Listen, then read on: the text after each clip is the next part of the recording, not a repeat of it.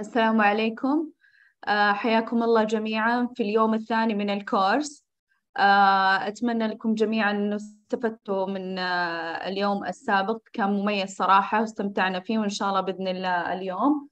الله يعطيكم العافية. إن شاء الله الأسئلة راح تكون على نهاية كل محاضرة. فبيكون مودكم مود استماع إلين ما ننتهي من المحاضرة. بعدها بتكون الأسئلة تكون موجودة سيتم إجابتها من قبل المحاضر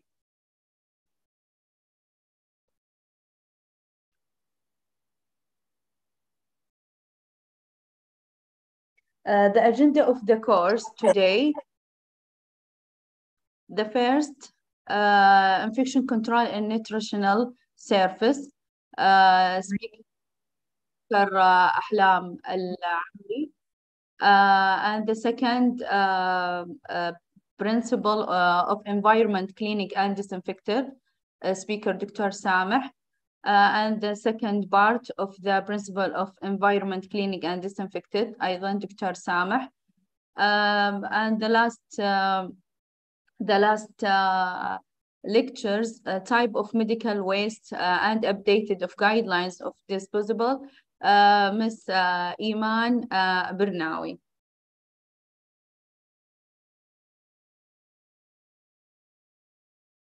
Uh, my, uh, it's my pleasure to welcome our first speaker, Ahlam Al-Amri. Uh, Ahlam Al-Amri is diploma of, uh, he has, uh, she has a diploma in infection control in health care training college UK uh, Master of Primary Healthcare Nurse Australia, Senior Special Primary Healthcare Nursing. Uh, please, uh, Ms. Ahlam, welcome. Go ahead. أهلين مساء الخير أستاذ أشواق حياك الله. الله يحييك تفضلي.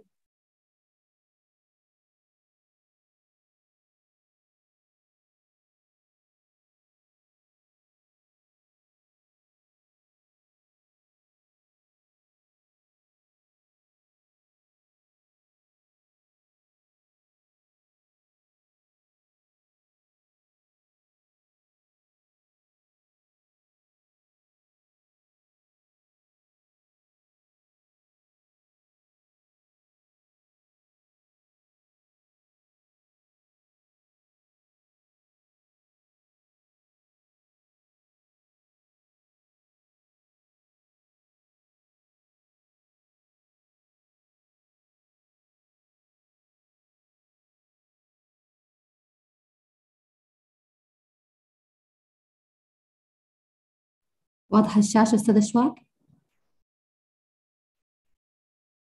آه واضحة بس آه ما هي full screen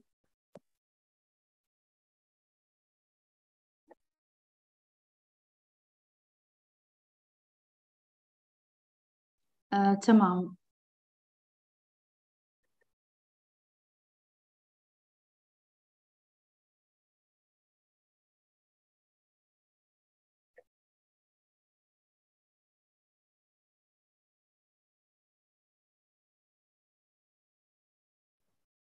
فول سكرين ناو صح؟ آه لا لسه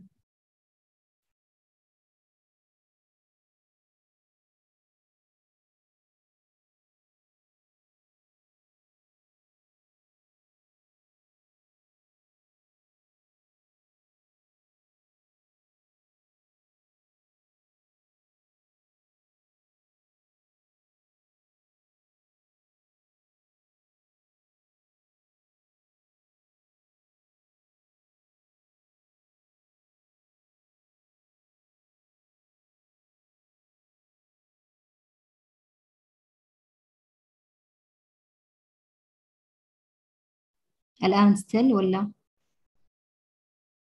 استل ممكن أنت تقطعين المشاركة وتبدين نفس الخطوات السابقة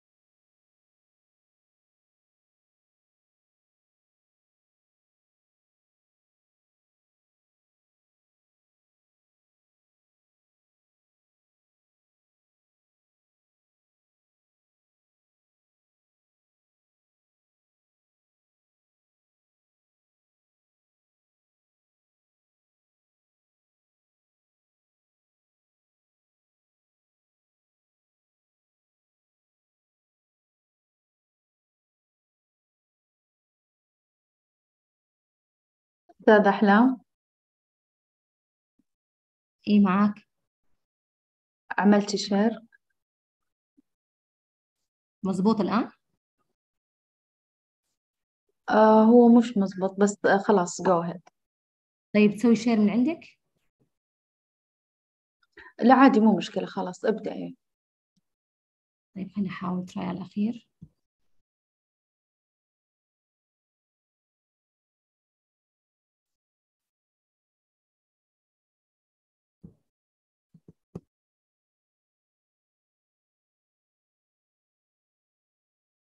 تمام الآن ولا لسه؟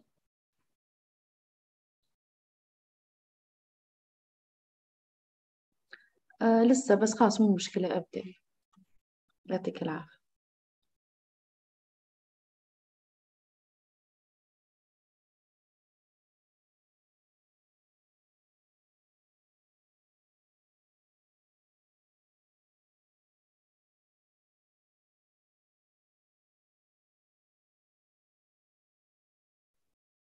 السلام عليكم جميعا مساء الخير آه، معكم أحلام العمري من الإدارة العامة لمكافحة عدوى المنشآت الصحية Uh, today our lecture will be about infection prevention and control in food and nutrition services and uh, inshallah you will gain um, a main significant um, uh, information and standards related to this uh, specific area and uh, according, accordingly you will implement it in your healthcare facility uh, effectively. ان شاء الله راح تكون المحاضره باللغتين العربيه والانجليزيه و at the end of this lecture ان شاء الله وفي نهايه هذه المحاضره راح نجاوب على جميع استفساراتكم راح نفتح نافذه الحوار والنقاش بيننا باذن الله.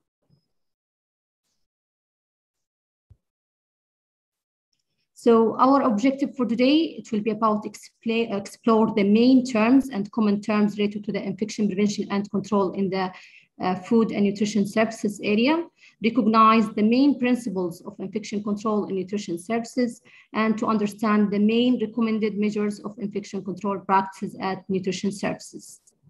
ففي البداية راح نعطي معلومات عن أهم المصطلحات التي يتم ذكرها في جميع المراجع الخاصة باشتراطات ومعايير مكافحة عدوى في أقسام التغذية وراح نتم إن شاء الله شرح المين المعايير الأساسية أو المحاور الأساسية لتطبيق معايير مكافحة العدوى في أقسام التغذية وأيضا راح يكون نشرح أهم التوصيات الخاصة باشتراطات مكافحة العدوى في هذه المنطقة. The Bidaya, as we all know that food and nutrition services is an important component of infection prevention in healthcare facilities.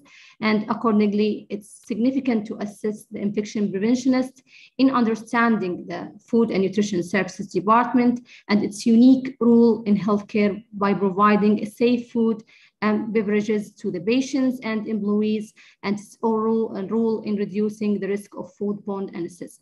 زي ما احنا كلنا عارفين انه المنطقة منطقة التغذية او خدمات التغذية تعتبر منطقة خاصة يعني مختلفة عن الأقسام في داخل المنشأة الصحية. فلازم إنه ضروري جدا أن يهتم قسم مكافحة العدوى في هذه المنطقة كقسم أو من أقسام الخدمات المساندة. وتطبيق ويعمل compliance أو monitoring compliance of infection control في هذه المنطقة عشان يمنع لا سمح الله من حدوث أي عدوى لها علاقة مرتبطة بانتقالها عن طريق الغذاء الذي يتم تقديمه لمرضانا ولموظفينا. So first of all, uh, we'll explore the common terms um, we have to know what's the meaning of food handler.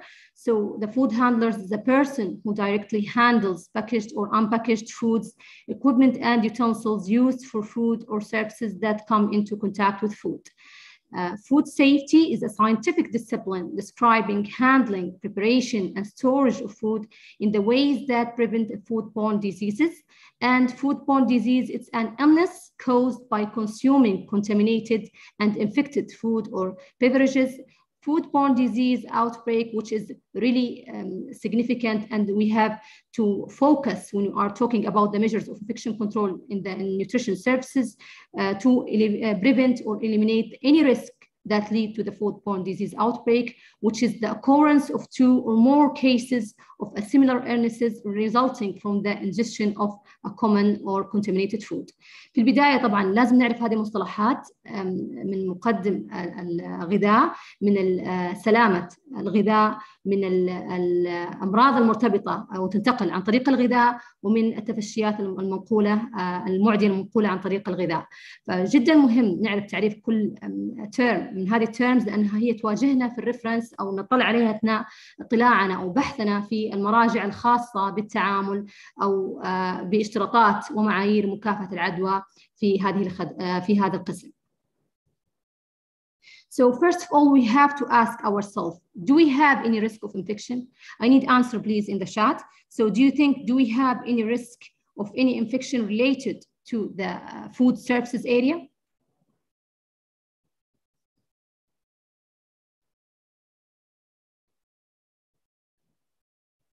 So significantly, yes, and the answer will be yes. We have uh, risk factors that lead to the infection in the nutrition services area.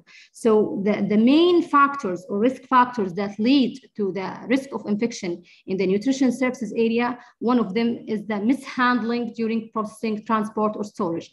احنا زي ما احنا عارفين السوء التمشي بمعايير وسيطات مكافحة العدوى أثناء عمليات تحضير ونقل وحفظ الأغذية يؤدي إلى العدوى طبعا. ال pathogens that naturally present in the food إحنا عارفين جدا إنه ال microorganism أو الميكروبات من الطبيعي أو إنه موجودة على جميع الأغذية بشكل طبيعي. Cross contamination by using the contaminated items or contaminated utensils أو باستخدام الأدوات الملوثة التي ممكن أن تؤدي إلى خطر حدوث العدوى في هذه المنطقة.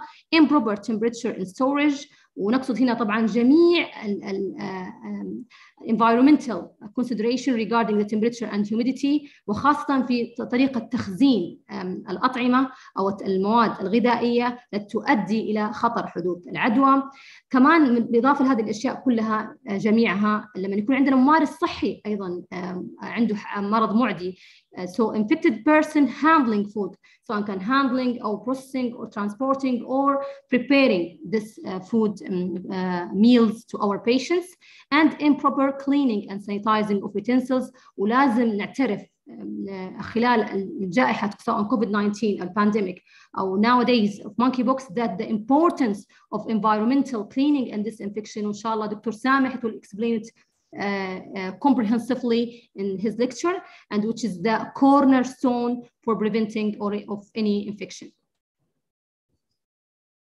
So all these risk factors that we are explaining in the, the, the previous slide that explaining that, yes, we have risk factors that will cause um, infection in the nutrition services.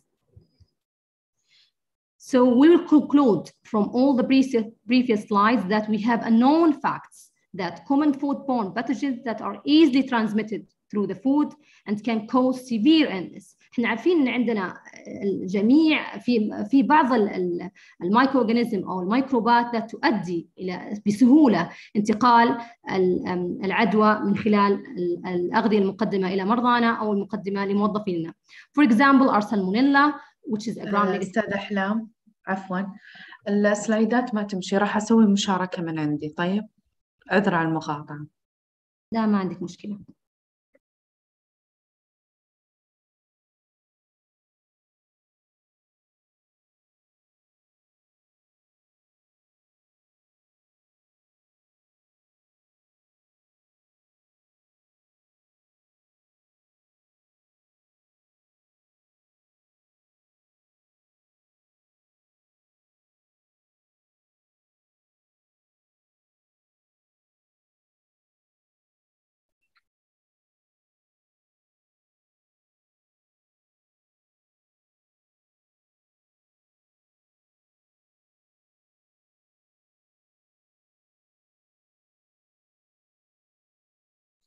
تمام الآن واضح؟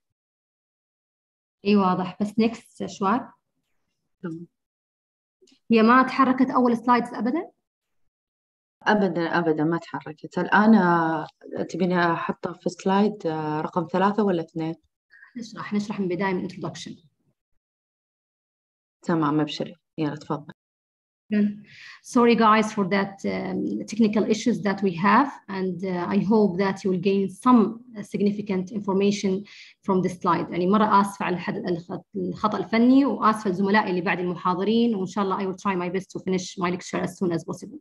So first of all as we um, uh, Uh, speak about the introduction. So food and nutrition services is an important component. احنا عارفين جدا انه جدا مهم الاهتمام بمعايير واستراتيجيات مكافحة العدوى في خدمات التغذية في المنشآت الصحية. So it's significant to assist the infection preventionists in understanding the food and nutrition services department and its unique role in healthcare by providing safe food and beverages to the patients and employees and its role in reducing the risk of foodborne illnesses. بتطبيقنا لاشتراطات ومعايير مكافحة العدوى في خدمات التغذية أو في أقسام خدمات التغذية في المنشآت الصحية إن شاء الله يعني راح نقلل من خطر حدوث أي عدوى ممكن أن تنتقل عن طريق الغذاء سواء اللي كان لمرضانا أو للموظفين إذا كان المنشأة الصحية تقدم meals also for the employees. Next شواك. So we have to explore the common terms أو المصطلحات العامة that we are exploring or, or, facing during our research in the reference or guidelines related to the infection prevention and control in the nutrition and food services. The most um, uh, uh, common term that we are facing is a food handler. So is a person who directly handles packaged or unpackaged foods, equipment and utensils used for foods or services that come in contact with food. Food safety is a scientific discipline describing handling, preparation, and storage of food in a ways that prevent foodborne disease.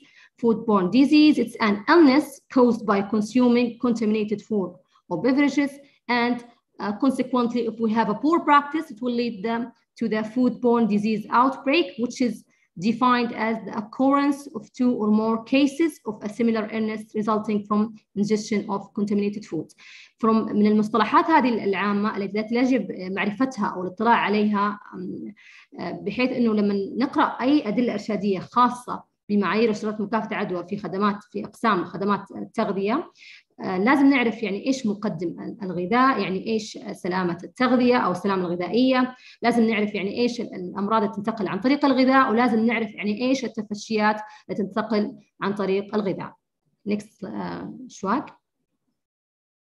So uh, لازم نسأل نفسنا طيب إحنا من المقدمة هذه do we have a risk of infection هذا السؤال أبغى أسمعه في الشات do we have or answer in the chat. Do we have a risk of infection next شواك.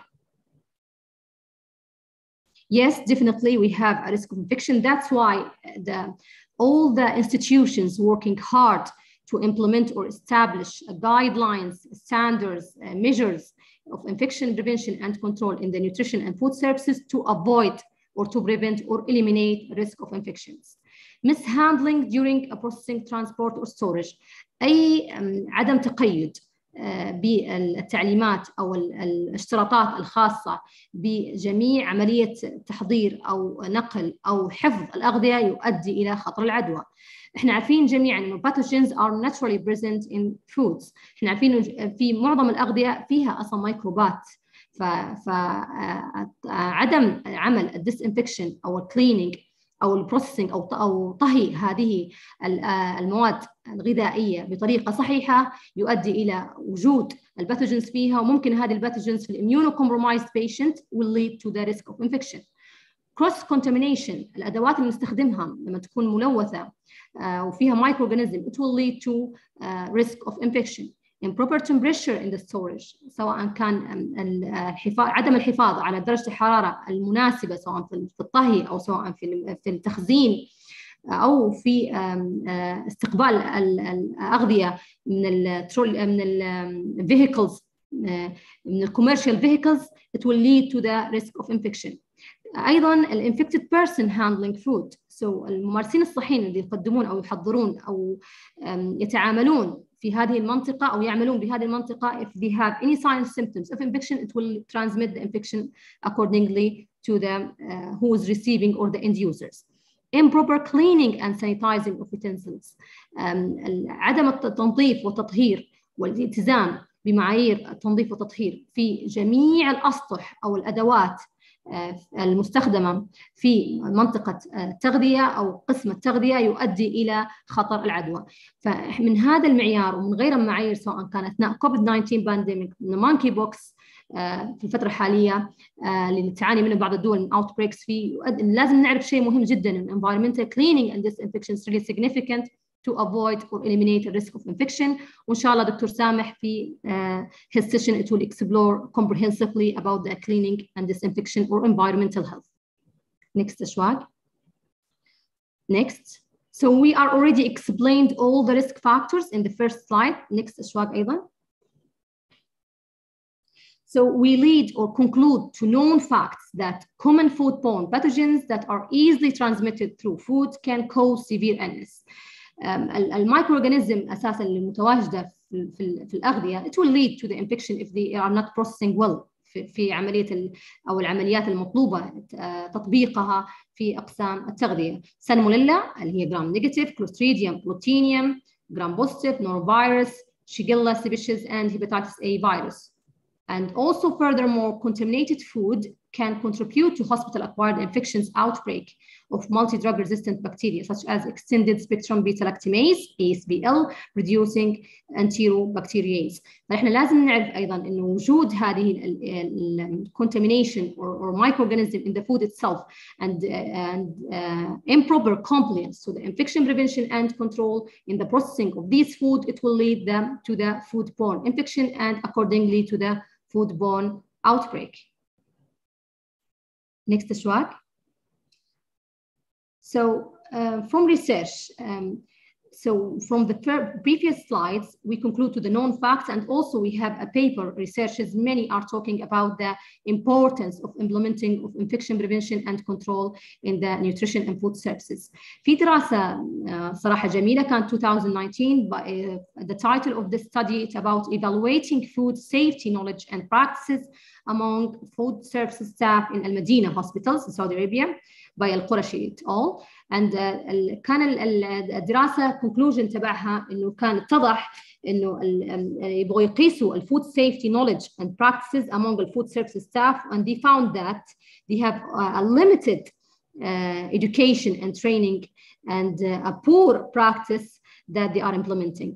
من هذه الدراسة اتضح أنه جدا مهم أنه نوعي الممارسين الصحيين العاملين في هذه المنطقة بالتحديد أو في هذه الأقسام على أهمية تطبيق معايير واشتراطات مكافحة العدوى ومعايير السلامة الغذائية لمنع حدوث أي عدوى ممكن تنتقل عن طريق الغذاء.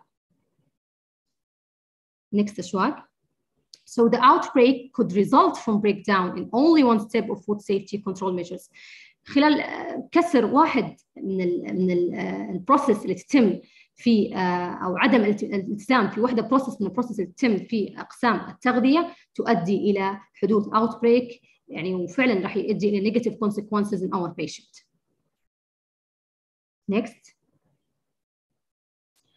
So first of all, we talk about the basic principles in the infection prevention and control nutrition and food services. Uh, زي ما قلت في البداية إنه هي process او سايكل لازم تتم ابتداء من purchasing till transporting transportation and and providing the meals to our patient so uh, purchasing receiving storage preparation and finally transportation next So when we are talking about the purchasing, selecting the suppliers to the facility that offer quality products delivered in safe and sanitary conditions and delivery of products in appropriate vehicles سواء كان refrigerator or enclosed vehicle is really significant زي ما قلت لكم في المحاضرة في البداية إنه طريقة استقبالنا للمواد الغذائية من من المراكز التجارية المخصصة أو اللي إحنا عارفينها عن طريق استخدام vehicles أو شاحنات تكون مكيفة وتكون فيها معايير محددة جدا مهم لتطبيق معايير وصفات مكافحة العدوى في هذا القسم. Purchase the food from a reputable source and inspect open delivery for the expiration date and signs of spoilage. لما نستلم هذه المواد الغذائية يجب أن يتم فحصها لوجود أي إذا كانت فاسدة أم لا وننتبه كمان أيضا لتاريخ الانتهاء أو الصلاحية. Product selected should be in commercially filled unopened packages when possible. جميع هذه المعايير تخص البروسيس الخاصة only for purchasing. Next شوار. Receiving area, so the receiving should be store perishable foods immediately at the proper temperature and appropriately store them. And all supplies stock received must be checked for their quality. And cartons and plastic containers from outside must be replaced before storing. And we have to list and establish a list for all items that we receive for inventory and easy checking of expired items فلما نستقبل جميع هذه المواد الغذائية لازم تكون تحفظ في كونتينرز خاص بالمنشأة نفسها لازم يكون في نجهز لست وقائمة بجميع المواد الغذائية اللي تم استلامها وتاريخ الانتهاء. Next slide. So when we are talking about the, the, the third uh, step in the in the process is a storage area. So we have to store food only in designated area. Never ever allow for any storage in the locker rooms, toilet areas, and garbage rooms. ممنوع منعا باتا نلقى أي مواد غذائية تم تخزينها في مناطق غير مخصصة لها. Refrigerator temperature are checked daily and must be documented. Food containers are properly labeled, expiry dates noted, and are washed immediately after being emptied from food and food storage must be done in a systematic manner. So what's that mean? So we have to, to um, facilitate and follow the FIFO standard, which is first in and first out. Storage shelves are least 40 cm from the ceiling, 20 cm from the floors, and 5 cm from the wall. كل هذه المعايير أو الاشتراطات يجب أن يتم تطبيقها في المناطق المخصصة للتخزين. Next شوار. So we have a specific temperature storage. أنا قلت لكم في البداية في risk factors is improper temperature, inappropriate temperature requirements. So كل type of product we have a specific temperature requirement. For example, fruit and vegetables, we have to store them between 4 uh, uh, to 7 degrees centigrade. Dairy products, eggs, meats, poultry, fish, and shellfish, it should be um, uh, stored in the temperature uh, from 0 to 4 degrees centigrade and frozen foods should be stored from minus 23 to minus 10 degrees centigrade. احنا ليه نقول التمبريتشر مره مهم؟ اثناء تخزين هذه المواد الغذائيه او سواء تحضيرنا لها وحفاظا على التمبريتشر المطلوبه يؤدي الى منع انتقال الاورجانيزم اللي موجوده فيها فعليا. يعني for example الاكس always will connected to the salmonella. A shellfish also salmonella. So we have to, to consider the, the uh, maintaining and implementing storage temperature requirements to avoid any risk of infections. And always, always, always, as infection control, we have to keep and monitor the temperature logs for all storage areas. Next slide. In the preparation area, so the food premises area are separated based on assigned functions such as a separate area of vegetables, meat, dessert preparation, etc. An adequate number of hand washing facilities are present in each area and only food handlers should be permitted in the food preparation area and we have to wash raw fruits and other hard surfaces fruit and vegetables under a potable running water before serving or use. So uh, جميع المعايير أو الشرطات في هذه المنطقة بالتحديد اللي هي منطقة التحضير إنه ما يوجد فيها إلا أشخاص المخولين يجب أن يتم تطهير وغسيل المواد الغذائية اللي يتم تحضيرها لازم إنها تكون على حسب ال function حقها تكون ال vegetables مفصولة عن ال meat ال area حق تحضير ال meat مفصولة عن الحلويات فهذه كلها المنطقة يجب أن تكون وفقا لمعايير واشتراطات مكافحة العدوى. Next شوار. So uh, preparation and production of food items, we have to instruct the personnel and supervise them regarding personal hygiene. يا جماعة, personal hygiene is really significant here. So we have to, uh, um, culture of personal hygiene in this area should be really high and, and at maximum limit. So uh, to avoid any risk of infection and to maintain a food safety, safety during food preparation, we have to maintain a personal hygiene. And we will discuss what's the meaning of personal hygiene in the uh, next slides. And we have to thaw frozen food items either in a microwave or in a refrigerator at five degrees centigrade for uh, 24 to 48 hours or under running water and never ever so at room temperature and no refreezing of food products after being defrosted يعني لما تذاب المواد الغذائيه ما نرجع نخزنها في في الفريزر مره ثانيه لانه راح يؤدي الى risk of infection. Next slide. always we have this uh, standard available as infection control and we know about it by using a separate color coding cutting boards. As we all know that we have a color coded um, uh, of uh, cutting boards avoid or eliminate the risk of infections. For example, a raw chicken, we a yellow board. For the raw meat, we are using the, the red board for the vegetables and green salads, we have to use the green boards. Raw fish, we are using the color-coded blue, and cooked meat, the brown, and bread and sandwiches in the white board. So all these color-coded, it will um, give me a, a, a hint as infection control when I'm monitoring the compliance of the infection control measures in, the, in this area. Next slide so display and transportation of food وهذه هي طبعا تعتبر هي اخر process في ال في ال principles of uh, infection control in this area so we have to transport food to different areas in a temperature controlled carts نستخدم uh, عربات نقل المواد الغذائيه او الوجبات للمرضى تكون controlled temperature فيها بحيث انه نحافظ على درجه الحراره اثناء تقديمها لمرضانا So protect food on display from customer contamination by the use of easily cleanable counter protector devices and maintain food in display at the proper temperature, whether hot or cold. Next slide. So uh, always we are facing this question. دائما يسألونا um, um, مكافحة العدوى عن um, هل من يقدم الوجبة uh, الغذائية للمريض uh, اللي يكون under isolation precaution سواء كان airborne, contact or droplets. So uh, لازم يكون الفود سيرفر لازم يسأل النيرس عن type of precaution and he will administer to the nurse and nurse she will deliver to the patient accordingly. If unsure about the isolation status of the patient ما كان في sign وشاك لازم يسأل كمان الممرضة عشان يتأكد منها عشان هي she is the one she will deliver the meal to the patient. We have to perform hand hygiene always before and after handling food trays. Next slide.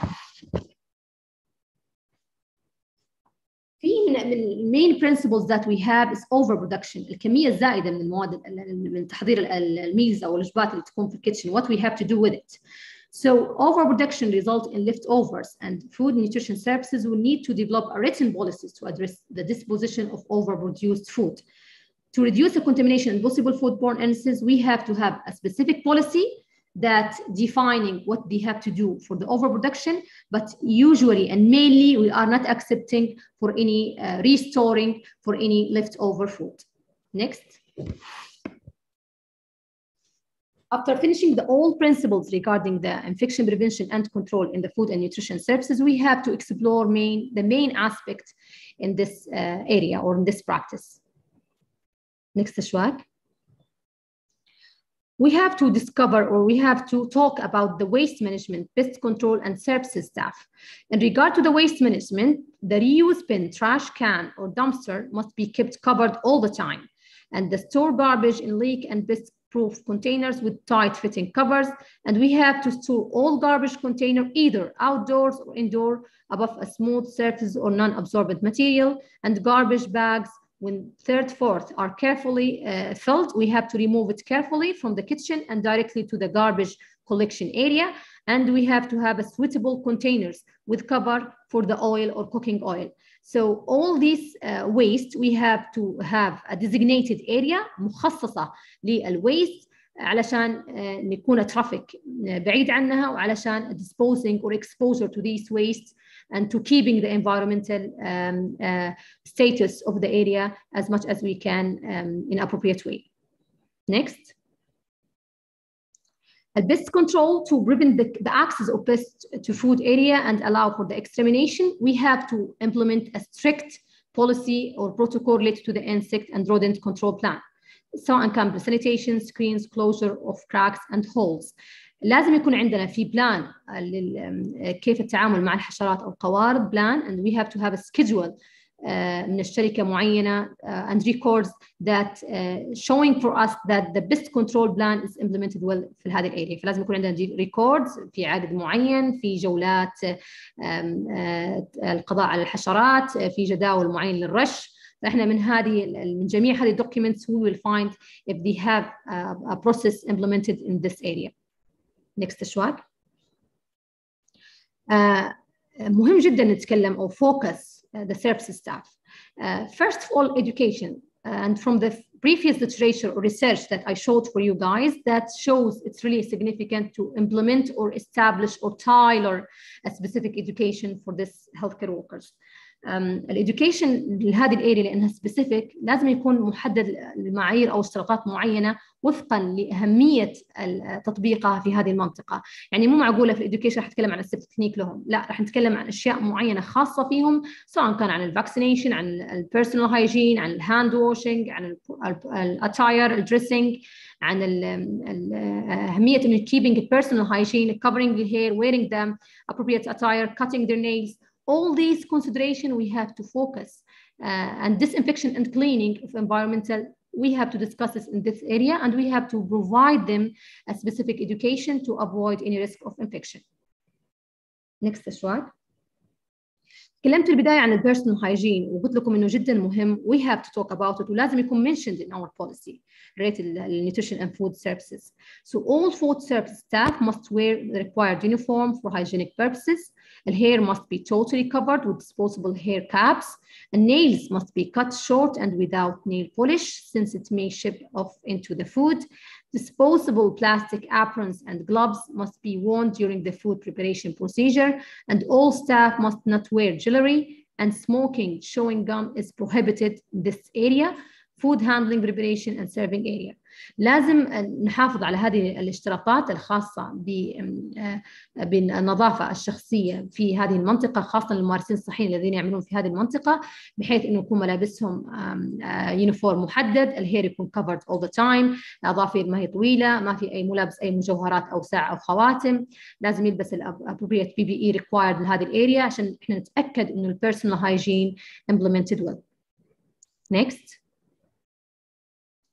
لما نجي نتكلم عن البي بي اي ريكوايرد هنا يحتاج بلاستيك اور فينيل disposable gloves الجلافز should be removed upon leaving the work area ولازم perform الهاند hygiene immediately ولازم يكون البروبر attire for food handlers should be included hair covering او كذا كان عنده البيرد لازم تكون restrained and freshly laundered visibly clean outer clothing مهم جدا في هذه المينلي بي بي اي تستخدم هي الهيد كفر البلاستيك or vinyl gloves والبلاستيك apron Next أشواق. hand hygiene في كل areas المستشفى ال inpatient يعني على وجه التحديد أو ال outpatient بس اللي ال area اللي هي فيها تعامل direct مع ال patient we have a specific moments or indication for hand hygiene لكن في في ال kitchen or nutrition or food services we have a different indications for hand hygiene which will be performed with soap and water بس إحنا عارفين انه hand hygiene is a gold intervention in prevention of any infections so we have to perform hand hygiene before work after using the toilet, before and after eating, after contact with unclean equipment or work surfaces or utensil or even the, the raw materials بحين نمسك مثلا meat, raw meat so معناته لازم we have to wash our hands and in patient care area لما لما we are transferring or transporting the food and handling the food to the patient we have to use the alcohol based hand rub before and after uh, before uh, providing them the meals and after uh, getting out from the area. And always, always, always, you have to mention that for, for this specific area that the food services personnel should not clean their hands in the sink that's used for food preparation يمنع منعا باتا غسيل أو أو نظافة اليدين في باستخدام المغاسل المخصصة لتحضير الأطعمة في هذه المنطقة وزي ما قلنا الانديكيشنز اللي مذكورة فوق هي مخصصة للحظات التي يجب فيها غسيل الأيدي في هذه المنطقة. Next شوار. occupational health وهنا الصراحة هذا bulk and, and significant uh, topic that we have to talk about it.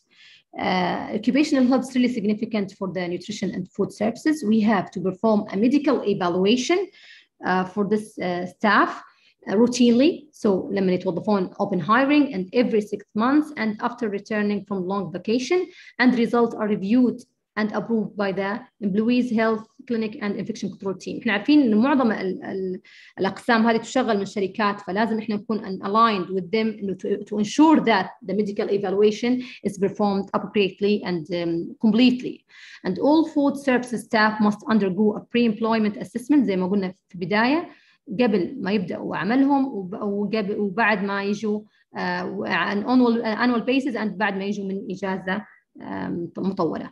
All kitchen staff receive vaccine against hepatitis A, typhoid, and meningococcal meningitis and influenza vaccine.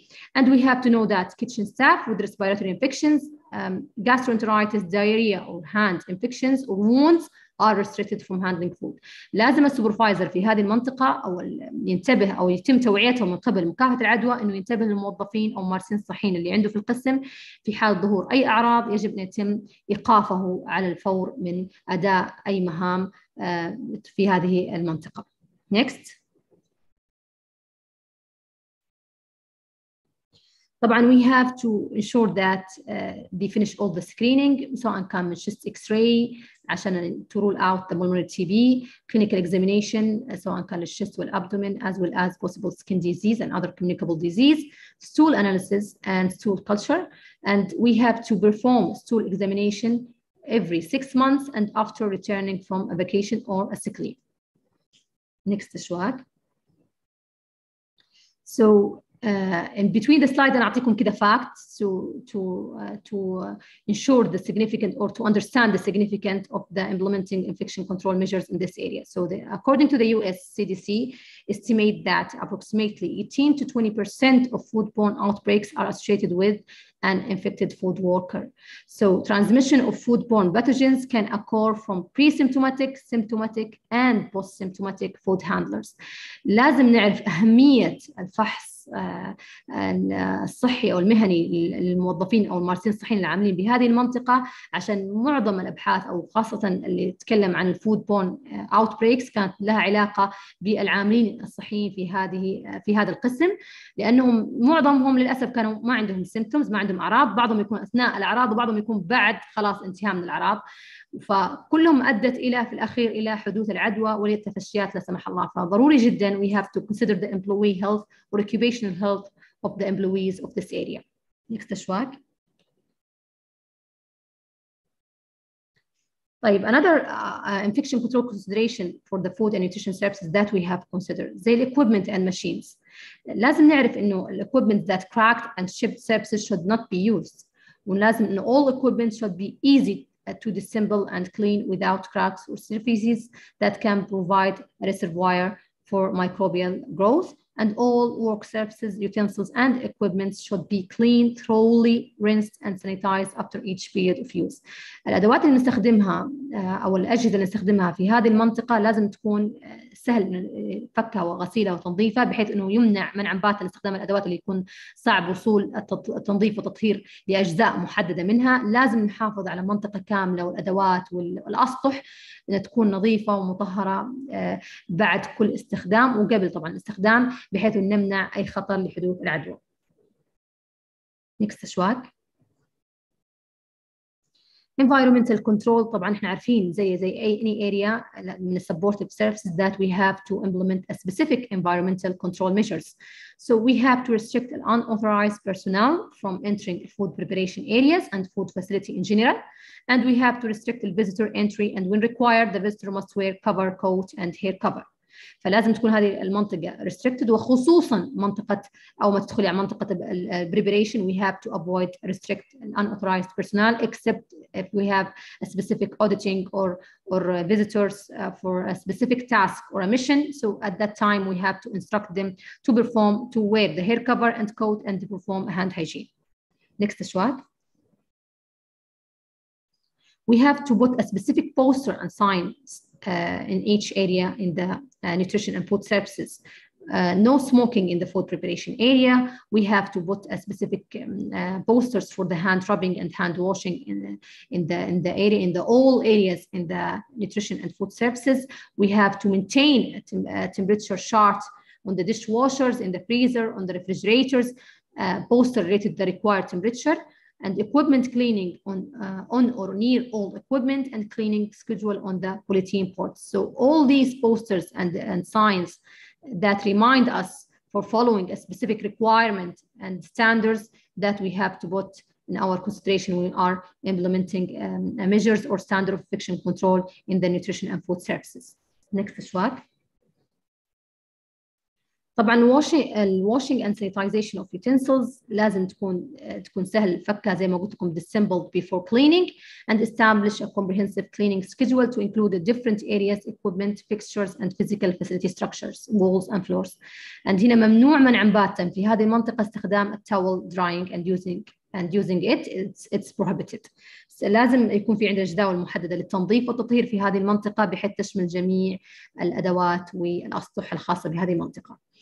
في عندنا بعض الميجرز that we have to نحطها في عين الاعتبار so like nutrition service consideration الwater supply must be protected from contamination by avoiding the cross connection سواء بينه وبين السيوج بينه وبين الصرف نمنعه بحيث انه نتاكد انه قريب من الصرف عشان نمنع الكروس كونكشن lighting ventilation and humidity controls وهذه جدا مهمه لانها تعتبر environmental control requirements to prevent the condensation of moistures and growth of muds and heating ventilations air condition system are designed and installed so that air intake and exhaust vent do not cause any contamination. كل هذه consideration regarding the nutrition services from the heating, ventilations, lighting, and also the, the water system and sewage system we have to consider when we are talking about the infection control measures في هذه المنطقة.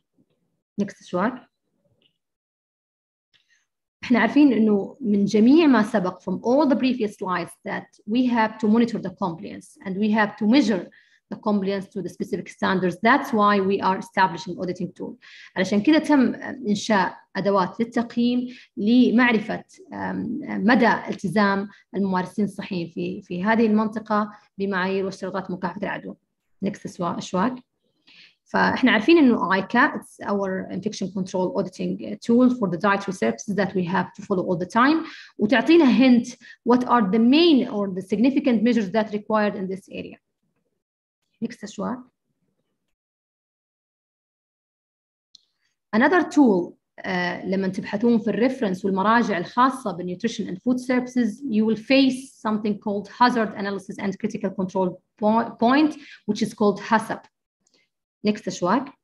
So this tool actually it's, it's established by the National Advisory Committee on Microbiological Criteria for Food from Environmental Health in, in 1995 وتتكلم عن وضع سبع معايير الهدف or goal from this tool is to provide a safe food to our uh, or meals to our end user اللي هم البيشنتس او الامبلويز فكل البرنسبل الموجوده اذا تم تطبيقها we are preventing or eliminating any risk for foodborne uh, disease related disease or outbreak and also to prevent any risk of infection next slide الHACCP it's it's alternative uh, or appreciation for uh, abbreviation for the hazard analysis and critical control point فهي اساسا a prevention based food safety system designed to prevent the occurrence of food safety problems like many other quality assurance programs HACCP provides a common sense approach to identifying and controlling problems that likely exist in operation طبعا ال HACCP is a system that identifies and monitors specific hazards.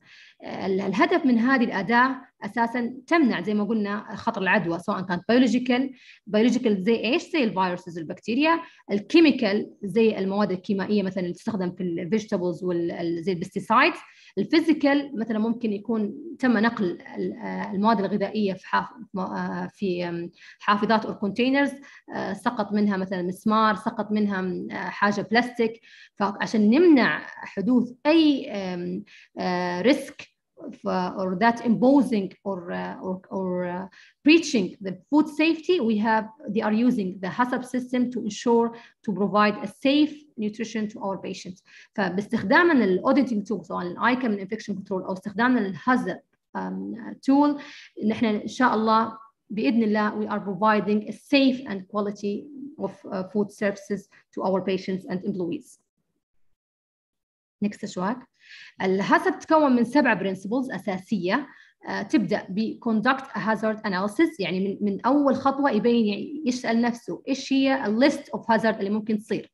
راح يقول مثلا list of hazard يصير food poisoning related سالمونيلا ممكن يقول يعني كل ال hazard اللي تطرح على باله راح يحطها في ال hazard analysis بعدها they will perform identify the critical control point which is called CCP من هذا المعيار راح يقول يبين كيف نمنع ال list اللي هو ذكرها في الخطوة السابقة بحيث مثلا يقول مثلا نستخدم ال hand hygiene عشان نمنع ال cross contamination وهكذا. Establish a critical limits. في هذه الخطوة بالذات راح يتم تطبيقها عن طريق إنه يحدد control measures that تمنع. مثلا لما يطبخ مثلا chicken راح يحدد كم درجة الحرارة المطلوبة لطبخ ال chicken عشان نمنع حدوث العدوى المرتبطة عن طريق الغير المطهي بطريقة صحيحة اللي هو ال meat مثلا أو ال chicken فهنا يعني هذا اللي يعني بالخطوة حقت أو ال principle حق ال establish critical limits establishing ال monitoring procedure من خلال جميع ما سبق هو راح يتم ملاحظة هل هم يتماشون مع الأشياء هذه. مثلا هو لو قال راح نطبخ درجة حرارة معينة راح يشوف هل هم ماشيين بهذه الخطوة صح أم لا. يجيب معاه tools معينة يشيك يقول هل يشوف ال temperature صح طبخت بنفس الدرجة. فهذه tool جدا فعالة وجدا effective موجودة في ال APIC وكل reference related infection control it's a systematic preventive measures that will, will, uh, will avoid or prevent any risk of infection. بعدها راح يصير في correction action plan زي مكتوب establish corrective actions. وبعدها establish a record keeping procedure. كل procedure ما سبق من ال principles لازم يكون عليها records بحيث إنه يبين فيها ال logs ل check درجة الحرارة log المحافظة على مثلا ال color coded حق ال board اللي يستخدم في تحضير الأطعمة.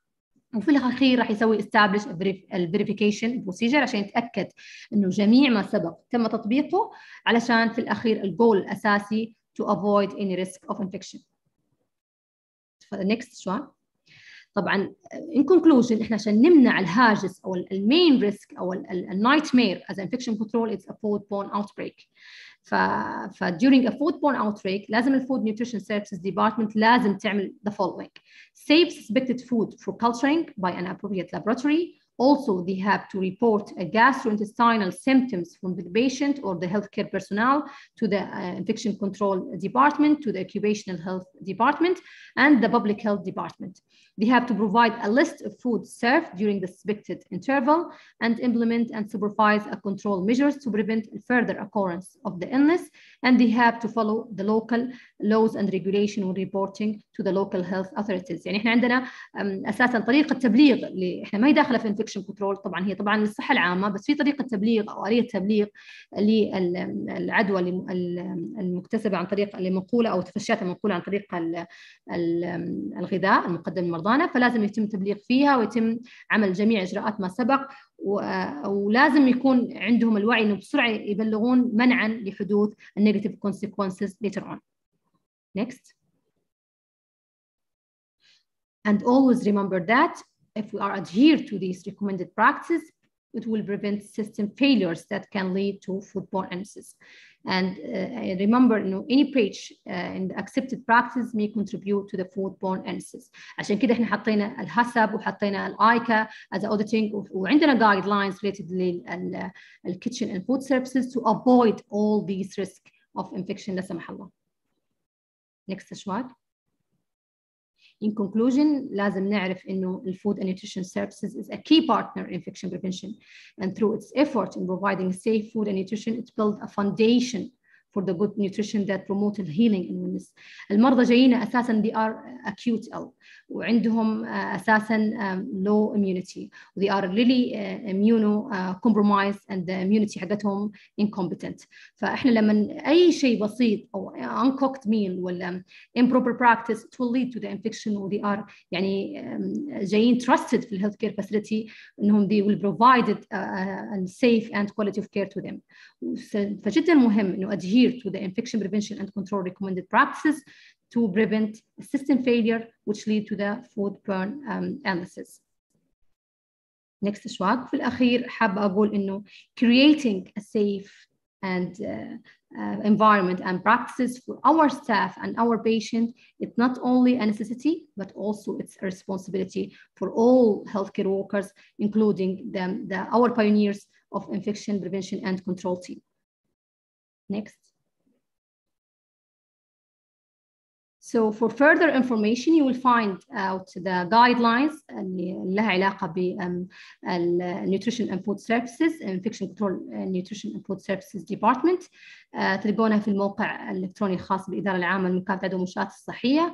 وكمان عندنا منصة تعليمية إلكترونية عشان يتم الحصول على جميع المحاضرات الخاصة بال supportive services ومن ومن ضمنها Nutrition and Food Services. وبعدها راح يكون في exam وعليه certificate فاتمنى اتمنى انه الجميع توصلوا هذه المنصه الالكترونيه اللي تعب عليها الزملاء في انشائها عشان to improve ال practice in the supportive services area اللي هو ما قصروا عليها الزملاء اللي يسوون فيها course حاليا وفي كمان extended more electronic uh, services uh, platform to ensure that all these information provided to our infection control practitioners and also our um, healthcare providers.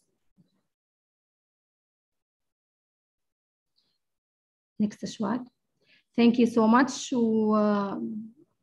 وأتمنى إن شاء الله تكون المحاضرة يعني give you any benefits. We are available at any time at GDIBC أرقامنا موجودة ممكن إيميلاتنا موجودة لو تدخلوا على موقع الإدارة العامة لمكافحة العدوى راح تلقون كل التعليم الإيميلات الخاصة بالبرنامج في أي استفسار أو أي concern related to them any uh, services in the supportive services and um, also I'm glad today to have you and um, to being with you guys to to have this um, a brief session and sorry for the technical issues that happened earlier. Thank you so much. Thank you, Ashwag. Thank you, Ms. Ahlam, for your presentations. More excellent. Uh, إذا عندكم أي أسئلة ممكن تكتبون على الشاتنج الله يعطيكم العافية.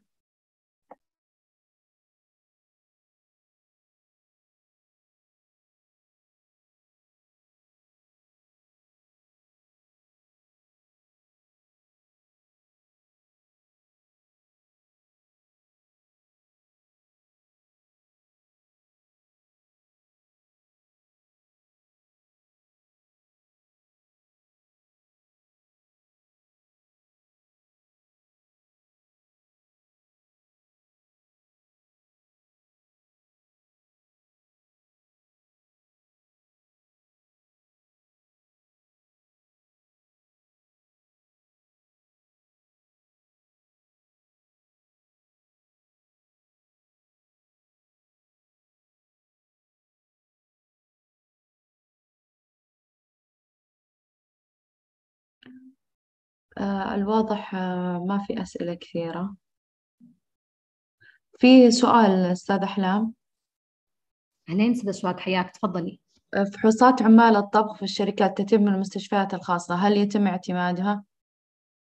طبعا إحنا أي عقد أساسا يتم التعاقد معه الممارسين الصحيين في هذه المنطقة لازم يكون approved من ال institution نفسها فما راح يكون مفاجأة التحليل حقتهم لأنه أساسا هم عندهم insurance فلكن من باب أولى نحن نتأكد إنه دي دان everything من خلال زياراتنا لتقييم المنشآت الصحية في هذه المنطقة كنا نواجه على على على وجه التحديد عدم إعطاء لقاح التيفويد من. من المستشفيات الخاصة للعماله اللي يشتغلون في هذه المنطقة على وجه التحديد فكنا إنه نسوي إنه لازم يكون في آلية إنه يتاكدوا من الشركة من خلال تأمينها الصحي تقدم هذا اللقاح أو يتأكدون إنه كل اللقاحات تنعطى عن طريق ال occupational health في المستشفى نفسه.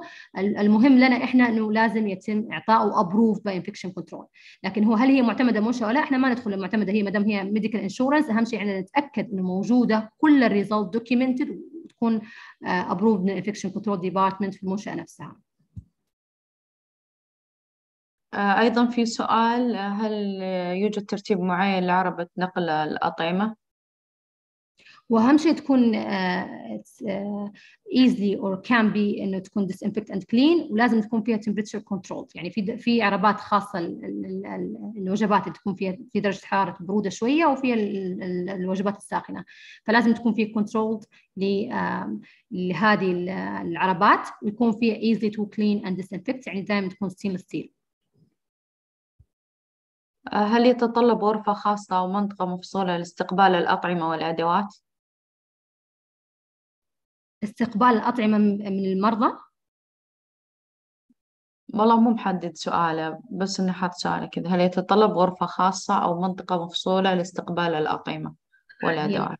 كل في منطقة ال operation مثلا لا هي في في أتوقع استقبال يمكن قصدهم بعد ممكن بعد استقبال يعني بعد الأكل أو يتم استقبالها قصدهم في نفس مكان المطبخ أو كذا. pathway محددة طبعا أكيد لازم يكون في zone خاص لاستقبال التروليات عشان على طول على طول immediately يتم تنظيفها وتطهيرها وفي في log يتسجل فيه إنه تم تنظيف وتطهير هذه trolley for next use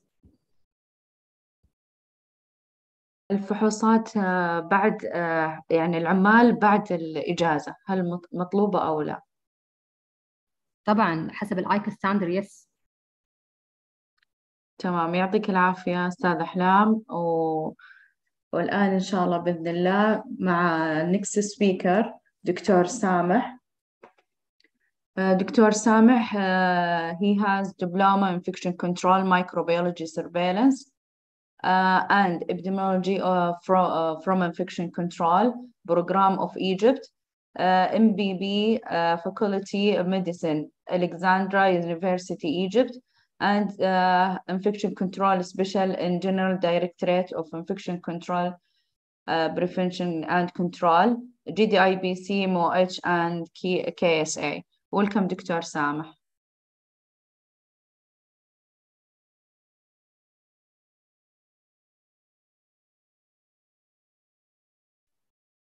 السلام عليكم. أشواق لو سمحتي ممكن بعد إذنك تقفلي ال screen اللي عندك عشان أنا أقدر أعمل share تمام أبشر.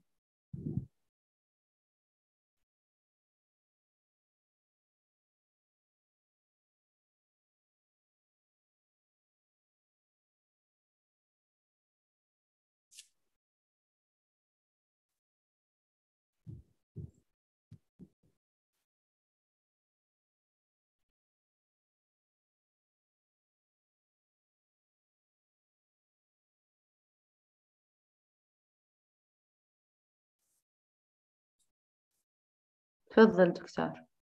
تمام تمام. آه.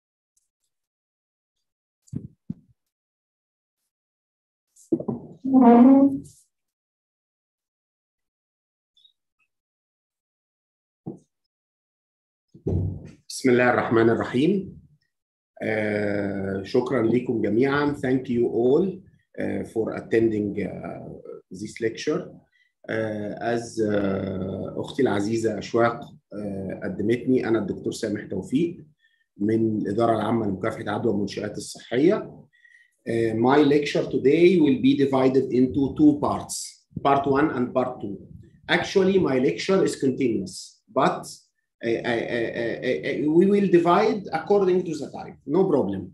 And we'll give time at the end of the second lecture for question.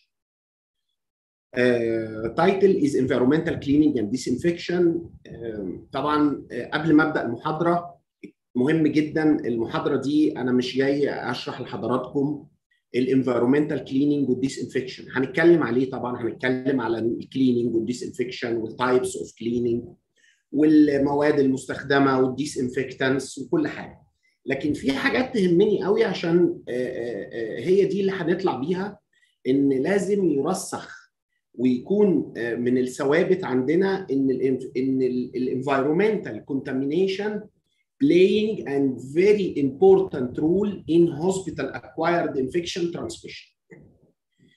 لو إحنا gained ده من المحاضرة فأنا هكون سعيد. لأن طبعا ال activities الخاصة بال environmental cleaning ما شاء الله حضراتكم كلكم من منشآت صحية ومستشفيات ومن جهات صحية. أنتوا عارفينها و practicing وبتقروا عنها و improving هنقولها لكن يهمني ان أنتوا to be convinced about this issue.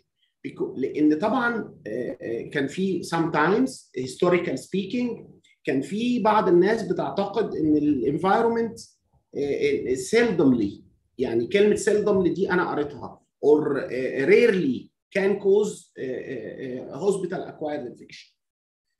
Now we will change our mind. Uh, usually I, I, I, like to start with these slides because these slides um, show to all, to us and for everyone that we are great.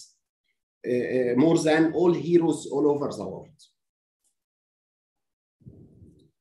Contents uh, of my lecture, uh, I, I, start with introduction. And the second thing we will be, we will talk about the role of environment in transmission of infection and causing the hospital-acquired infection. And second, and, the, uh, and we'll talk about the activities that we have to apply for environmental cleaning and disinfection to mandate the environment safe for all people, for healthcare workers, لحضراتكم, للpatients, للvisitors, uh, even for patient families. We will talk about a very special issue, area decontamination technologies, uh, uh, اللي هي استخدام التكنولوجيا في عمليات التنظيف والتطهير البيئي وده كلام مهم لازم هنتكلم عليه. Monitoring the quality of environmental cleaning زي كل حاجة في الدنيا بنعملها دلوقتي we have to monitor the quality of our acts. quality of our act إحنا هنعمل environmental cleaning مجرد مسح الأرضية وتنظيف الحوائط ومسح الأسطح لازم we have to assess the quality of this process. Why we have to assess the quality of this process؟ لأن لما إحنا عرفنا أهمية ال environmental cleaning واهميه ان ال environment تبقى clean وقد إيه هي بتلعب دور رئيسي لما تبقى safe and clean to prevent the transmission of hospital acquired infection ده معناها ان أنا I need to assure the quality and monitor the quality for the process and the results of environmental cleaning activities. As an introduction, healthcare workers face a very huge number of uh, hazards during uh, their work. طبعا إحنا بنتكلم على ال blood borne pathogen بنتكلم على biological hazards كل ده بيظهر من uh, التعامل مع البيئه الصحيه. Healthcare facility environment should be maintained clean and safe for patients and healthcare workers all the time and the visitors. وده الكلام اللي بنقوله إن لازم بيئة المنشأة الصحية لازم تكون آمنة وده أحد الأهداف العامة لبرنامج ال environmental cleaning وال housekeeping أو ال infection control in the environment إن بيئة المنشأة الصحية تكون آمنة للعاملين الصحيين والمرضى والزوار والعائلات وأي أطراف أخرى موجودة في المنشأة الصحية.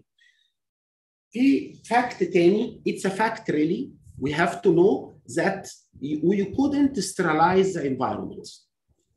We can't sterilize the environment in the hospital. بمعنى إيه؟ ان ما حدش يجي يقول لي أنا هعقم الغرفه الفلانيه. ما فيش حاجة اسمها تعقيم للغرفه. ما فيش حاجة اسمها تعقيم للاسطح. You can't do that. لكن اللي بتقدر تعمله إيه؟ You can lower the, the, the, the microbial load on the environmental surface as minimum as you can and it could be reached and, and as we can reach by using the chemical and the cleaning and the disinfectants all the time. يعني مفيش حاجة اسمها هعقم السطح الفلاني. خالص التعقيم ده للأدوات فقط اللي طرق التعقيم المعتمدة اللي إحنا عارفينها عندنا في منشاتنا الصحيه لكن لا يوجد بمسمى التعقيم. محدش يقول كلمة تعقيم خالص لأنها كومبليتلي رونج إحنا هنا في البيئة بننظف ونطهر. ولا يمكن نزيل الميكروبات تماما. لازم هيفضل في شوية ميكروبات. لكن الميكروبات دي هدفنا نقلل الميكروبات إلى ال minimum اللي هي إلى الحد الآمن وكمان نتخلص أكتر من ال pathogenic microorganisms الميكروبات المسببة للأمراض. Environmental cleaning is an important part in breaking the chain of infection in preventing cross contamination. Environmental cleaning is one of the uh, uh, media that help in, trans in transmission of hospital-acquired infection. By, by practicing proper environmental cleaning and disinfection, you can break the chain. انت بتكسر حلقه او السلسله اللي موجوده اللي بتوصلنا في الاخر لحدوث الهوسبيتال اكوايرد انفكشن العدوى المنشات الصحيه. All healthcare workers should share in application in environmental cleaning policy. الحقيقه ان دي ما كاتبها في الانترودكشن وكاتبها جوه المحاضره تاني وبكررها كتير عايز اقول ان all healthcare workers are responsible about safe environment and can practice different activities to mandate the environment in the healthcare setting or in the hospital safe for patient and the, and the healthcare workers and the visitors and families. We will talk this slide for about historical perspective. First, as a historical opinion, the environmental surface contamination does not contribute in hospital acquired infection acquisition. This is a historical thinking. ده كان التفكير القديم. التفكير القديم كان بيقول ان البيئه لا تلعب دورا في انتقال الميكروبات والتسبب في عدوى المنشآت الصحية. طب مين كان السبب؟ Okay, surprise. They can they they was thinking that the only cause of transmission of hospital acquired infection is the hands of healthcare workers. كان الإيدين العاملين الصحيين هي الوحيدة المسؤولة عن نقل العدوى داخل المنشآت الصحية. ده كان تفكير historical. طيب what is the recent؟ هو مش recent قوي يعني الحقيقة إن هو يمكن بدأوا يفكروا فيه من 10 years وأكتر وزيادة. خلاص؟ the last thinking that the environment playing a very important role in transmission of infection and causing hospital acquired infection. وطبعا ده مدعوم لما بقول إن ده latest thinking ده مدعوم ب a lot of researches researches مهولة اتعملت على هذا الكلام وإحنا طبعا لمسنا ده بنفسينا في أواخر outbreaks حصلت واواخر pandemics طبعا ال MERS pandemic كان أشهر واحد. ال environment كانت بتلعب دور رئيسي. أنا شخصيا بصفة شخصية تعرضت له. Without meeting a patient. I just through the environment. I caught the MERS the uh, MERS uh, uh, virus and being sick. And and and admitted to the hospital. okay. الحقيقة إن الكلام اللي عايز أقوله إن دلوقتي ال environment بتلعب دور رئيسي. وعايز أقول حاجة مهمة جدا. إحنا كنا زمان بنقول إن ال hand hygiene if properly practiced بيقلل 50 أو 60% من احتمالية الريسك اوف transmission of hospital of of microorganisms that causing hospital acquired infections. دلوقتي بقول إن الانفايرمنت playing almost the same rule if we properly clean and disinfect the environment environmental surface and the environment in the healthcare settings, we will achieve the uh, lowering and lower the uh, hospital acquired infection in this facility by more, more than 50%. This slide is very important. This slide show us how the environment plays a role in transmission of hospital acquired infection. and uh, what is the chain and how to break this chain. ال slide دي بت... يعني بالحقيقة إنها slide يمكن بالمحاضرة كلها بتأكد لنا وبتوضح لنا إزاي ال environment بتلعب دور رئيسي في نقل العدوى في عدوى المنشآت الصحية بداخل المنشأة الصحية. In the left side here we have an infected and colonized patient admitted to the hospital. or housed inside the hospital قاعد متنوم في المستشفى This patient infected or and colonized having microorganisms pathogenic microorganisms the environmental surfaces in this area and the patient zone or this room is totally contaminated by the same microorganisms from the patient يعني البيئة المريض والأسطح البيئية حول هذا المريض الملو الحامل للعدوى تعتبر ملوثة تلوث كامل بنفس الميكروبات الممرضة الموجودة عند المريض. طيب these patients can and these environmental services can play a role in transmission of infection how maybe directly if this patient transferred or discharged and improper environmental cleaning and we admit another patient miserable patient really هو مريض مسكين لانه هينام في بيئه ملوثه بميكروبات المريض السابق هو ممكن ما يكونش عنده the same microbe or same disease And then he will acquire the infection rapidly from the contaminated environment. هياخد العدوى بطريقه دايركت من البيئه الملوثه. طيب في طرق أخرى؟ آه طبعا. ان البيئه الملوثه حول المريض ده سواء خرج أو ما خرجش اثناء الهيلث كير وركر اوفرنج ذا سيرفيس they are contaminating their hands and the hands of healthcare worker if not properly washed or, or they are not properly practicing hand hygiene, they can transmit the contamination to the to another patient or to another environmental environment around the another patient. And di directly or indirectly, the infection could be transmitted to the patient. يعني بالعربي المريض موجود contaminated بيلوث البيئه اللي حوله دخل عليه healthcare worker. تلامس مع البيئة اللي حوله. البيئة ما عملنالهاش proper environmental cleaning ما نظفناهاش. طيب إيدين ال healthcare worker تلوثت. للأسف ما حصلش proper hand hygiene لأي سبب من الأسباب. ال healthcare worker ده اخذ ال microbes في إيده وراح وداها غرفة ثانية طبعا بطريقة غير مقصودة. وسبب يا إما ينقلها للمريض الثاني أثناء التعامل معاه أو تلويث الأسطح البيئية في غرفة المريض الآخر. ممكن يكون المريض الأول في مبنى والمريض الآخر في مبنى آخر بنفس المنشأة وقد وينتقل التلوث بينهما عن طريق العامل الصحي. أو بسبب إن المريض ينام في نفس مكان المريض الآخر بدون عملية تنظيف وتطهير جيدة للبيئة فيلتقط الميكروب لأن زي ما قلنا البيئة بتعتبر ملوثة بنفس ميكروبات المريض.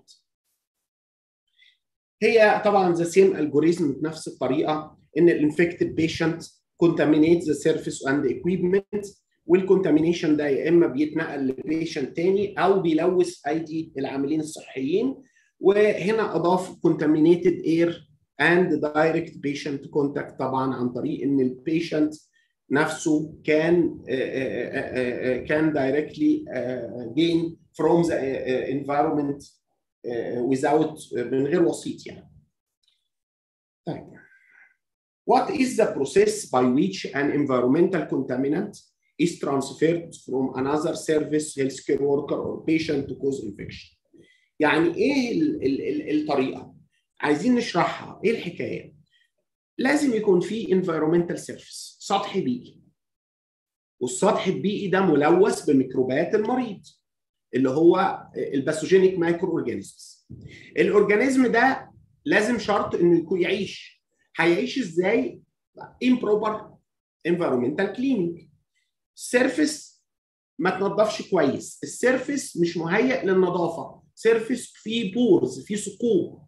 التلوث ما اتشالش حتى لو عملنا عمليه تنظيف ما كانتش جيده وال surface ما كانش مهيئ للتنظيف التلوث فضل the surface must be touched by by healthcare worker لمسوا السيرفس طبعا بياخد الميكروبات في ايده no hand hygiene poorly perform hand hygiene okay the person must transmit the organism from other patient to another patient هي دي ال ال ال العملية الانتقال زي ما شرحناها بالظبط. وطبعا مهمتنا في يعني ليه بشرحها وبطول فيها؟ لأن لو فهمنا ال cycle دي إحنا وإحنا قاعدين كده هنقول آه يبقى ال hand hygiene مهم وال environmental cleaning مهم. لو حققنا الاثنين دول خلاص إحنا mostly mostly mostly will prevent the hospital acquired infection by high percentage. هنمنعها بنسب كبيرة جدا. فعشان كده أنا بعيد وازيد فيها لأن الهدف ان إحنا نبقى convinced by the rule of environment in infection uh, in hospital acquired infection transmission. دي بتقول نفس الكلام environment to hand to patient or direct from environment to another patient. إحنا عمالين نقول إيه environmental services what is the environmental services إيه تعريفهم إيه حكايتهم إيه هي ال environmental services طبعا بالتاكيد environmental services is the services in the environment in the patient room or in the patient zone. في منطقة المريض أو غرفة المريض. طب أمثلة ليها إيه؟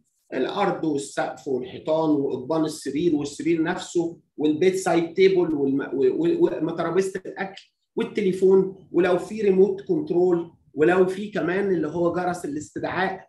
كل دي تعتبر high touch surfaces وتعتبر كمان طبعا أسطح متكررة ومتعددة التلامس بنلمسها كتير فهي مليانة microorganisms زائد طبعا أكيد أكيد أكيد إنها سواء موجودة في في الغرفة أو إنها موجودة في منطقة المريض إذا كان multi bedded rooms يعني غرفة فيها عدد من الأسرة فالمريض له منطقة محددة هي دي اللي بينتقل إليها ال microorganisms وبتتلوث من ميكروباته وبتبقى ملوثة تماما. طبعا ال monitor وأكرة الباب. طبعا ال door knob is very important لدرجة إن في أنا الحقيقة ما حطيتش عليها slide لكن lot of researches اتكلمت على ال door knob. أكرة الباب because door knob usually touched by everyone. كل واحد داخل غرفة المريض بيمسك إيد الأكرة ويفتح منها وهو خارج يمسك الأكرة ويفتح وهو داخل. A lot of people using this doorknob even the patient itself himself أكرة المريض دي بيبقى عليها multiple types of microorganisms. لدرجة إن في بعض ال companies بدأت تعمل equipment إن هو بيركب فوق ال door knob ويعمل spraying فوق أديس spraying disinfectant خلاص؟ على after each use يعني بعد ما انت تدخل وتخرج كده تلاقي الجهاز ده عمل طلع عمل spray of disinfectant to to disinfect the door knob من خطورتها والحقيقة إن الخطورة دي ثابتة بقى lot of researches طيب حاجة ثانية مذكورة هنا بقى أنا جبت لها slide وكتبتها. ال bedside privacy curtains. bedside privacy curtains الحقيقة إنها مظلومة. الناس كلها بتشوفها حتة قماشة كده متعلقة حوالين المريض عشان ما حدش يشوفه ولها وتساعد في ال privacy of the patient ما حدش بينتبه إلى إنها one of the com most commonly touched surfaces in the patient area or in the patient zone. ما حدش بينتبه إنها من الأسطح متعددة التلامس. لا ده إيه الأخطر كمان؟ It is made from tissue. معمولة I'm sorry made from uh, clothes. نسيج. It is not easy to be wiped or cleaned. أوكي ذات سمين إنها وطبعا حاجة بتتعلق بمشابك وصعبة التركيب. لازم ننتبه لها. We should open an eye for every curtain privacy curtain in our facility لانها بتعتبر من الاسطح متكرره ومتعدده التلامس وطبعا في researches كتيره اتكلمت عليها هنشوفها في ال slide اللي وراها بتتكلم ان more than 50% of hands of healthcare workers contaminated because only the bedside curtain يعني عملوا دراسة لقوا إن أكثر 50 في أكثر من 50% من أيدي العاملين الصحيين بتتلوث من التعامل مع ال bedside privacy curtain اللي هي الستارة أو الستارة اللي حوالين سرير المريض. طبعا معروف ال mechanism إيه؟ أنا ببتدي أعمل اللي عليا وأطهر إيدي بالكحول وبعدين أروح على منطقة المريض patient zone I touching بعشم كده قوي ال bedside curtain. أنا عملت اللي عليا أنا لسه حاطط إيدي كحول alcohol hand rub وعامل hand hand hygiene properly once I touched this bedside curtain I I'll contaminate my hand. هنقل بقى للمريض والمريض اللي بعده يعني زودت الميكروبيال لود في إيدي بشكل رهيب. طبعا في نقطة مهمة أنا ذاكرها هنا. The use of privacy curtains with antimicrobial properties has not been proven to reduce infection risk and does not eliminate the risk with contamination of microorganisms with microorganisms. مهم جدا لأن this is a very important issue. a lot of hospitals pay a lot of money to purchase antimicrobial curtains, single-use curtains. This is not right, and by researchers, this is not playing any role to render to prevent the risk of infection coming from the bedside curtain.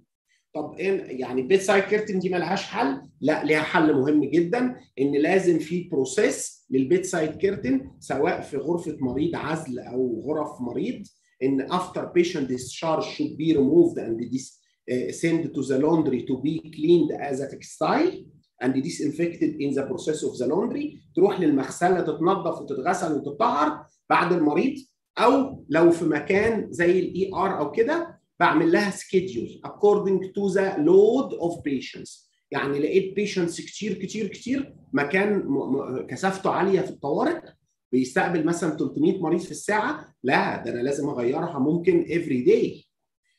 طبعا القاعدة الذهبية اللي عندنا the golden rule once anytime sudden emergency contamination visualized contamination. It should be replaced at once. ده اللي بقوله. يبقى لازم نبقى فاهمين إن أنا لما بقول بحط سكيدول الغرفة دي بعد المريض ما يطلع الغرفة دي كل كل أسبوع الطوارئ كل يوم. لكن لو حصل إن تلوث ظاهر should be changed at once. تتغير دلوقتي فورا ما استناش لميعاد التغيير بتاعها. ودي مشكلتنا مع ال antimicrobial curtains لو حد عايز يعني يسأل عن موضوع إن ال antimicrobial curtains الناس دافعة في الواحدة مبلغ كبير بيعلقها دلوقتي بعد ربع ساعة بس يجي عليها blood بيعمل إيه؟ يعمل إيه؟ يقول لك أنا هرميها 300 ريال ولا 400 ريال لا I keep it until دي انتي فيها antimicrobial agent دي بتموت الميكروب هتموت الميكروبات اللي في ال blood this is not right at all. Please don't do that. ولو في مستشفياتكم لقيتوا المشتريات أو ال medical supply جايبها وبيشتريها say no please the money we can spend in another important issue we need it. محتاجين الفلوس في حاجة ثانية تكون فعالة. طبعا دي ال slide اللي بقول إن البكتيريا وال fungi وال fungi can survive وال spores can survive لأنها clothes material قماش. بتعيش جواه وبيبقى ال decontamination بتاعها صعب إنه يزال وهي متعلقة should be sent to the laundry زي اي textile to be cleaned. طيب عايزين نتكلم على حاجة ثانية برضو unresolved issue في منشآتنا الصحية. What about the carpeting؟ السجاد. Is it accepted in our hospitals in healthcare area في غرف المرضى وفي أماكن رعاية المرضى in healthcare areas uh, where the patient we, we, we offer the healthcare uh, service to the patient لا طبعا ممنوع الحقيقه انه ممنوع انا I know that some references say there is no problem for carpeting uh, but they they put a lot of uh, measures you have to know and you have to apply if you want to put a carpet but our policy in GDIBC General Directorate Infection Prevention and Control سياستنا هي ان غير مسموح بالسجاد أو الموكيت أو السجاجيد في غرف المرضى واماكن تقديم الخدمه الصحيه. طيب لو عايزين نعرف السبب yes we can say the carpet has been associated with an increased risk of healthcare associated infection rate especially for immunocompromised patients. ليه يا ترى؟ Because the carpet is uh, multi-porous, multi-porous. And there is a hidden areas, a lot of hidden areas in the carpet. And the microorganisms, fungi, fungi, fungi, fungi spores, a lot of microorganisms can go and go to hide inside the carpet. How to clean the carpet? If you have a carpet, you will use a manual cleaning. It will spray the microorganisms all over the area. يعني كل المرضى والعاملين هيشموا كل ال spores اللي انت عمال تكنسها. طب إذا استخدمنا المكنسة الكهربائية العادية المنزلية it is not accepted لإنها بتسحب الهواء وتطرده من الناحية الثانية هتعمل تلوث للمكان. طبعا المراجع لما سمحت بال carpeting سمحت بيها بشروط صعبة جدا وإنها يتعمل لها cleaning regularly بصورة دائمة وباستخدام مكانس خاصة مكانس HEPA filter الحقيقة إن إحنا اخذنا بالأحوط we go to the safest opinion that we are don't we don't like any carpet on the floor. طب الأرض يبقى إيه؟ الأرض الطبيعية بتاعت المستشفى اللي هي طبعا ال vinyl. اللي هي ممكن حاجات تانية كتير لكن مش carpets ولا أي حاجة من ال carpets لا سجاد ولا موكيت ولا حاجة خالص. لازم hard surface easy to be cleaned could be washed بستخدم عليها disinfectants براحتي استخدم كلور استخدم كلوريكستين استخدم quaternary ammonium compound dry very very good to to be to to to be uh, reprocessed. طيب إحنا اتكلمنا على ال carpet واتكلمنا على الأسطح واتكلمنا. طيب في بعض الناس عندها شك. They are thinking that the microorganisms outside the body can't live for long time. في ناس بتشك وبتفكر بتقول طب ما أنا لو أنا غرفة مغلقة حتى لو هي فيها ميكروب لا أنا أسيبها يوم مقفولة. الميكروب بره جسم الإنسان هيموت وخلاص نبقى خلصنا منه. طبعا الجزء ده في ال slide عشان يصلح مفاهيم الناس على what is the length of the survival length of the microorganisms on the surface في حد يقول لك والله يعني مش هتقعد أكتر بالكثير من 48 ساعه 3 أيام this is not accepted because we are scientific persons we are uh, uh, going to researches and this is very important to know but i have to tell you the length or survival time of the microorganism of any on any environmental surface depending on multifactorial. It's a multifactorial. يعني بيعتمد على إيه؟ بيعتمد على نوع الميكروب. في ميكروبات عصية جدا وقوية بتقدر تعيش لمدة طويلة. نمرة اثنين الرطوبة ال humidity اللي موجودة على السطح. ثلاثة ال porosity السطح ده مخرم ولا مش مخرم ولا مستوي ولا إيه؟ يعني ال organism بيخش يستخبى زي ال carpets والكلام ده ولا لا؟ طيب ال disinfectant residual إحنا لما طهرنا السطح ده استخدمنا disinfectant له long time effect ولا كان very short time effect ما هو لو long time effect لما ال microorganism هيجي على السطح لو في residual لل disinfectant هيوقف النمو بتاعه وهيموته وهيبقى ال survival time بتاعه مش هو الصح. طيب بصفة عامة إن هو في مدد مختلفة لل microorganisms to be to live on the environmental surfaces in the healthcare facilities طبعا الجدول ده مش مطالب حد إن هو يحفظه طبعا لكن هدفه آه، آه، بال researches بتاعته to show us that there is some organisms which are very dangerous and resistant can live on the environmental surfaces for long time reaching 1400 days if this surface is not affected by any disinfection or environmental cleaning. Again, ال environmental cleaning هو اللي هيحميني وهيكسر لي ال cycle إن ال microorganism اللي عايش على السطح ده يقدر ينتقل لإيدين ينتقل لأدوات ينتقل لمريض بصورة مباشرة. لكن لو سبته عندي قائمة طويلة من microorganisms can stay for long time تستناك لمدة ثلاث سنين عشان تنقل لك العدوى وتحدث تحدث المرض. إذا لقت طبعا entry portal جايد. طيب this I like this slides. طيب إيه ال microbes؟ إحنا عمالين نتكلم نقول microorganisms وعمالين نقول طيب الميكرو ال microbes المعروفة بتبدأ طبعا بال viruses ال enveloped viruses والبكتيريا gram positive و negative وال fungi وال viruses non-enveloped بعد كده وال mycobacterium وال protozoa والبكتيريا ال spores الحقيقة إن الترتيبة دي مش اعتباطا الترتيبة دي محطوطة بادئه من ال most susceptible الأكثر تعرض وأسهل في التعامل معها إلى الأصعب في التعرض والأقل تاثيرا بالمطهرات. يعني لو بدأناها من فوق ان ال envelope viruses هي اسهلهم في التعامل وللاسف معظمهم هم الفيروسز اللي بتقابلنا في كل يوم اليومين دول فهي envelope viruses ليه ال envelope virus سهلين في التعامل because the envelope virus if I use a, low grade disinfectant at, I, I'll affect the envelope of the virus and destruct the envelope of the virus and that's why the virus will no more uh, present لو أنا بستخدم مطهر ضعيف جدا مستوى منخفض من التطهير هيأثر على غلاف الفيروس ويقضي عليه وللأسف معظم الفيروسات اللي بتقابلنا وعاملة لنا مشاكل هي envelope viruses لكن هي ال slide دي بتوضح لنا أصعبهم في التعامل معاه وأسهلهم في التعامل وطبعا الموضوع متدرج من الأعلى إلى الأسفل.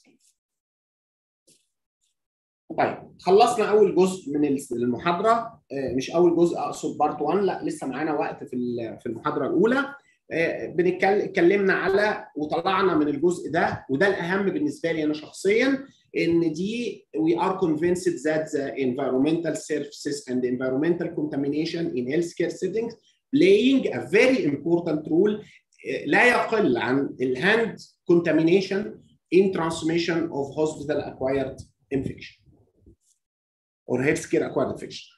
We will go to the second part, which activities that mandate the environment clean and safe.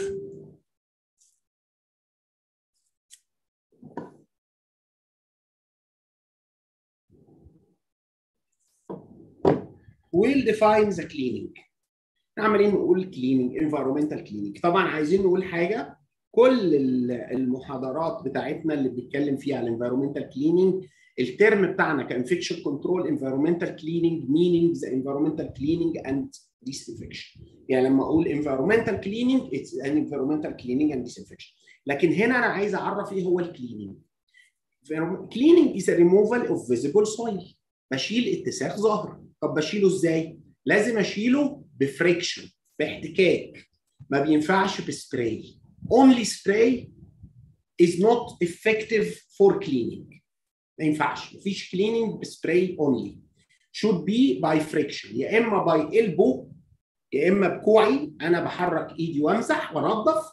أو إن أنا أستخدم machine mechanically mechanical machine okay يبقى is the removal of some visible dirt. بشيل اتساخ ظاهر عن السطح. يا إما لازم يكون ب friction يا إما mechanical أو by elbow grip بستخدم قوة دراعي. بستخدم التنظيف بيتم بواسطة مية وصابون soap and water مية و detergent ماء ومنظف. Again the same talk about the cleaning. Generally طبعا ال cleaning مهم جدا لأن في بعض الأحيان ال dirts دي بيكون فيها بيولوجيكال ماتيريال بيكون فيها ملوثات عضويه these dirts if not removed can make a barrier between the disinfectant and the surface this is very important because we will set as a first rule in our lecture the first rule in our lecture that there is no proper disinfection without proper cleaning لا يوجد تطهير من غير تنظيف. ما حدش يكلمني عن التطهير الصحيح والجيد إذا ما كنتش عامل تنظيف جيد. ليه؟ زي ما اتفقنا التنظيف لو في عندي biological material مادة حيوية ملوثة ملوث حيوي لازم أشيله. ليه أشيله؟ لأن ال disinfectant لو جه معظم ال disinfectant أو بعضهم cannot affect the biological material. ما بيقدرش يأثر على ال biological material that's why this biological material can make a barrier for this surface couldn't be reached by disinfectant المطهر مش هيوصل له. فنتيجة كده هيبقى عملية التنظيف والتطهير is not in a good quality. And there is a living area couldn't be reached and couldn't be disinfected and having microorganisms and can cause transmission of infection, may be direct or through hands contamination. Right. What is the disinfection? Disinfection describes the process of elimination of many or all pathogenic microorganisms اكسبت سبورز عمري ما بقدر اثر على السبورز الا بصعوبه شويه طيب الكليننج بروسيس طبعا زي ما اتفقنا ان الكليننج از فيري امبورتنت بيفور ذا بيفور ديسانفكشن وقلنا ليه طيب decontamination is a process عمليه cleaning decontamination process remove destroy contamination thereby prevents microorganisms or other contaminants reaching susceptible site in a susceptible numbers to initiate infection. الديكونتامينيشن اللي هو بالعربي ازاله التلوث. طيب إيه انواع الانفايرمنتال كليننج؟ واحد عندنا scheduled cleaning, second emergency cleaning, third project cleaning, terminal cleaning and blood and body fluid spill cleaning. What is the equipment used for cleaning? Equipment used for environmental services should be clean and maintained in a good quality. يعني ما ينفعش أروح ألاقي الاكويبمنتس الخاصة مستخدمة في عمليات التنظيف equipments مليانة بقع ومخبطة ومكسرة وهي نفسها contaminated و dirty بما يكفي. لا طبعا ده should be good.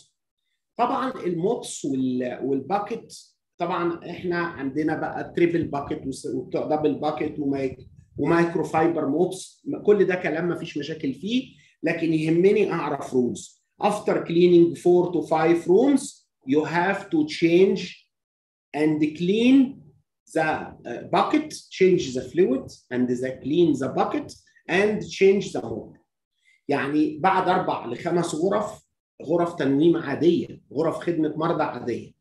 لكن الايزوليشن روم إيه وضعها ايزوليشن روم is a special case the best to dedicate the cleaning equipment inside the isolation room افضل حاجة ان أنا أحط ال cleaning equipment جوه inside ال room and kept until the patient discharge يعني تخصص للمريض ده للغرفه دي طب ما عندناش كفايه يبقى ال isolation room should be the last room in the schedule لازم تبقى آخر غرفة في ال في ال schedule بتاعي وإن ال equipment اللي هستخدمها should be after used in the isolation room. لو أنا مش هسيبها جوه وما عنديش أدوات كفاية should be reprocessed.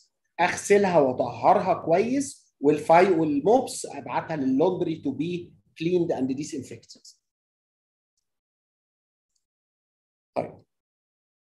طبعا اتفقنا إن ال cleaning should be by friction.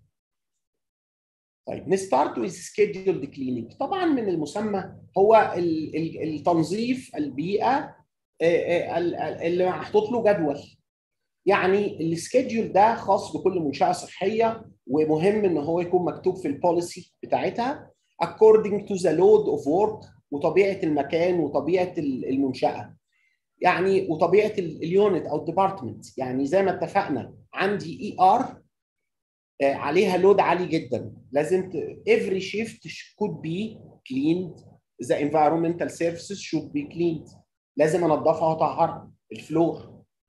كل shift طب في مستشفى عندهم بيخش طول اليوم أربع خمس عيانين بس؟ لا هقول كل دي كل every day على حسب المستشفى وال own policy وال risk assessment ما عنديش مشكلة. عندنا ال wall طبعا ال wall ممكن يبقى كل يوم ممكن يبقى كل أسبوع خلاص زي اوضه العمليات السقف ممكن كل ثلاث شهور وممكن كل شهر according to the nature of the hospital and unit طيب emergency cleaning الحقيقة الحقيقة ان هو من اسمه ان هو cleaning emergency لو أنا بقول ان أنا I clean every day or every shift if there is any accidental contamination what can I do? أستنى للميعاد بتاع الشيفت اللي جاي؟ لا. Should apply the emergency cleaning. أبدأ أعمل تنظيف طارئ وطبعا ده قريب شويتين ثلاثة من ال dealing with blood and body spill. طيب project cleaning which is an important type والناس بتنساه اللي هو عمليات مشاريع النظافة. مين اللي بيقوم بيها؟ مش ال infection control ولا ال housekeepers This is responsibility of the maintenance department. قسم الصيانة. طبعا لما أشوف مخارج هواء بالمنظر ده في داخل منشأة صحية طبعا المنشأة الصحية دي معناها إن ما بتعرفش حاجة عن ال environmental cleaning وده سيء جدا وده source of transmission of fungi و fungis fungal spores طبعا بصورة كتير جدا. لأن منظر ال air vents بالمنظر ده needs an urgent cleaning. And disinfection. طبعا اللي بيقوم بال cleaning وال disinfection ده بيكون ال maintenance people under supervision of infection control team طبعا هنا ال slide دي يمكن بدري شوية اتكلمنا على ال disinfectants لكن ده أنا بحطها دايما من حبي وقناعتي الكاملة. I am totally convinced and trusted in chlorine based disinfectants. الكلور ده شيء رائع الكلور المنزلي بتركيزاته لأنه اولا مادة منظفة ومطهرة cleaning cleaner disinfectant الحاجة الثانية إن هو بيديني a lot of concentrations أقدر أعمل بيها كل حاجة. هو cheap طبعا. مشكلته إن هو في ال high concentration بيبقى له طبعا odor و smell عالية زيادة شوية. الحاجة الثانية إنه maybe له bad effect or يعني anti coloration effect على بعض الاسطح لكن الحقيقة إن هو effective جدا as disinfectant طبعا ال concentrations اللي قدامنا دي من الانترميديت من اللو للانترميديت للهاي فله تركيزات متعددة وهو very effective طبعا. وأحسن حاجة بنحبها by the way يعني في ال environmental cleaning في ال hemodialysis departments ال spill kit اللي هو طبعا how to deal with blood and body fluid spill لازم نتفق على حاجة مهمة جدا. ال spill kit معروف بكل مكوناته. لازم يكون available في كل area فيها risk of blood and body fluid splash يكون فيها أي مكان فيه خطورة في تناثر السوائل من الدم وسوائل جسم المريض لازم البي لازم يكون ال health care workers dealing with blood and body fluid spill should be trained about how to uh, use this uh, spill kit. لازم الناس تكون مدربة وما نيجي نتكلم معاها ويحصل spill يكونوا عارفين how to use the spill kit. طبعا خطوات ال management of the blood and body fluid spill هنقولها بسرعة I know that all of you know but I will repeat. First, we have to apply the solidifying powder that transfers the fluid from fluid state to the semi-solid state. هنحط البودرة اللي بتتسبب في حدوث تجمد وتغير في الحالة السائلة للسائل الجسم المريض ونسيبها من أربع لخمس دقائق 4 to 5 minutes to solidify.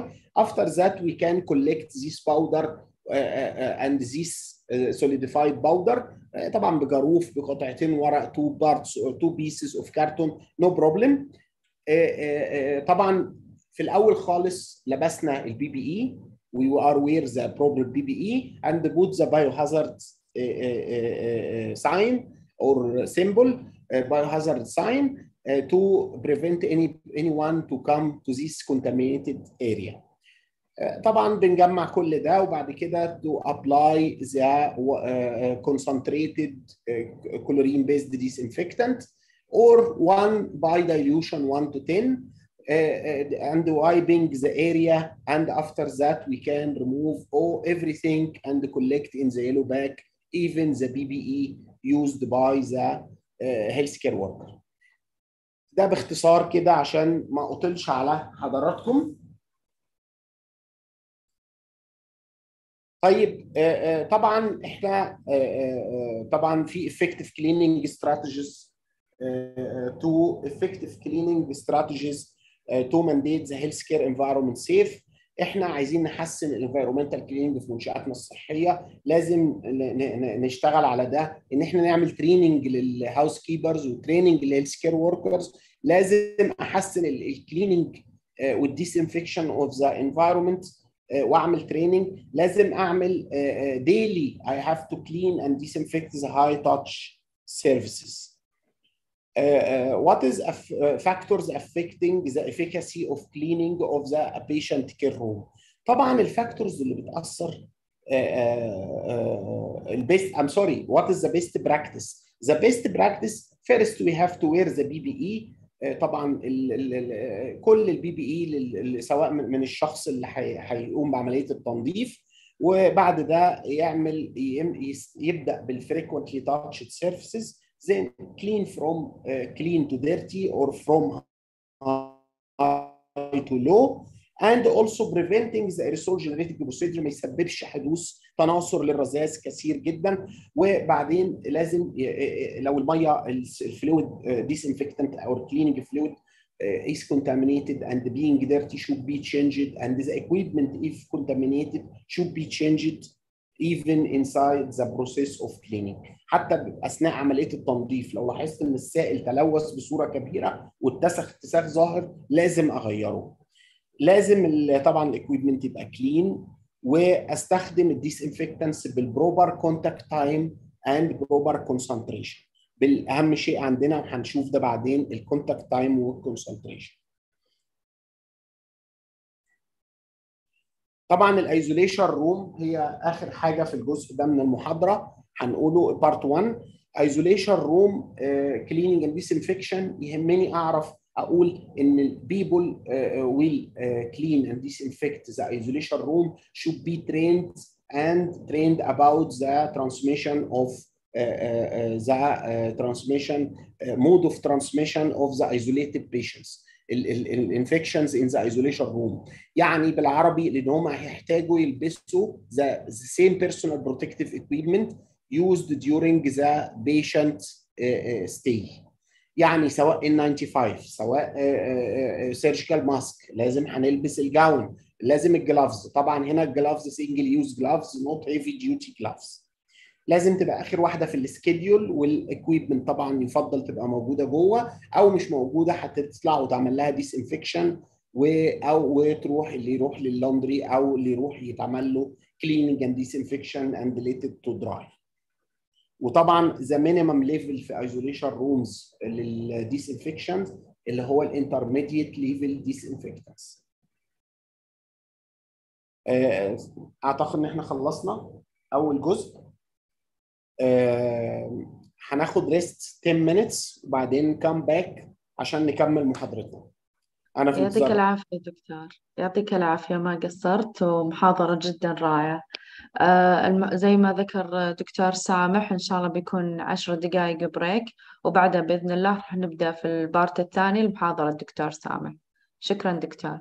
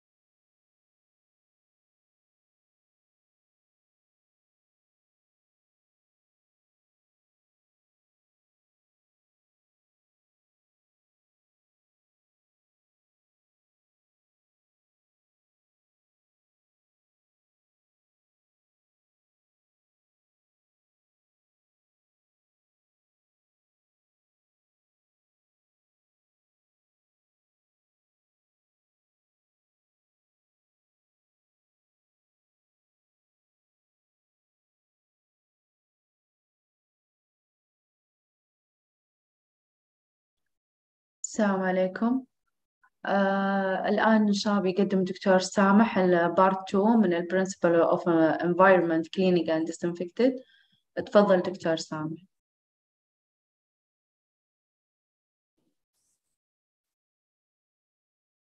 تمام يا شوية اقفلي لو سمحتي ال share اللي عندك عشان أقدر أشيرها.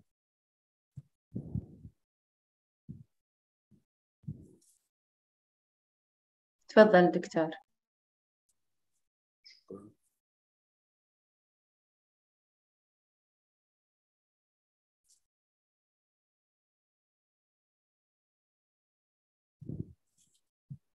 تمام. بسم الله الرحمن الرحيم. رجعت لحضراتكم تاني في ال second part of my lecture هنتكلم بسرعة. المرة دي هنجري شوية زيادة عشان عندي حتة حتتين محتاج أثبت عليهم أكتر. آه، ومهمين قوي قوي قوي و new وهيعجبكم. آه، آه، طبعا بالنسبة لل personal protective equipments during cleaning and disinfection على حسب لو داخل غرفة عزل آه، آه، according to the type of isolation precaution. ولازم طبعا بما فيها ال mask وال N 95 بما فيها كل حاجة. وطبعا معروف إن ال gloves دايما تبقى disposable في ال isolation لكن بخصوص another types of cleaning أهم شيء فيها طبعا إذا كان في احتمالية splash I have to wear protection of my face and heavy duty gloves طبعا و maybe gown or maybe overall no problem يعني ال personal protective equipment is good How to select an ideal disinfectant يعني part صغير هنقوله سريعا إزاي تختار ال disinfectant الكويس للمنشأة بتاعتك. I know most of health uh, uh, MOH hospitals uh, دايما بيجي لها ال disinfectants بتاعتها uh, uh, from central supply. لكن لو اتحطيت في وقت uh, uh, you need to select disinfectants. rapidly طبعا طبعا هو إحنا بنتكلم ساعات على ال Spaulding classification على اعتبار الأدوات لكن إحنا هنا بنتكلم على ال environmental surfaces مش على الأدوات لكن لازم نبقى فاهمين حاجة مهمة جدا إن ال environmental surfaces مهم جدا إن تعمل لها ديس برضو بالطرق آه، آه، بال levels الخاصة. آه، ال levels الخاصة اللي موجودة اللي هي الانترميديت ليفل واللو ليفل وانترميديت ليفل والهاي ليفل لكن there is no sterilization at all طبعا هنا ده ال definition of low level disinfectant اللي هو disinfectant. طبعا أنا هقول على حاجة. طبعا مكتوب ال definitions of low level disinfectant والانترميديت ليفل of disinfectant and the high level disinfectant. لكن I need to go rapidly to uh, uh, something is very important. This slide can show you the levels of disinfection and disinfectants وايه معنى الكلام ده. فاكرين ال slide اللي قلنا فيها susceptibility of microorganisms وكانت بادئه من اول enveloped viruses و ended by spores هي ال slide دي شبهها بالظبط لكن هنا ضفنا ال level of disinfection.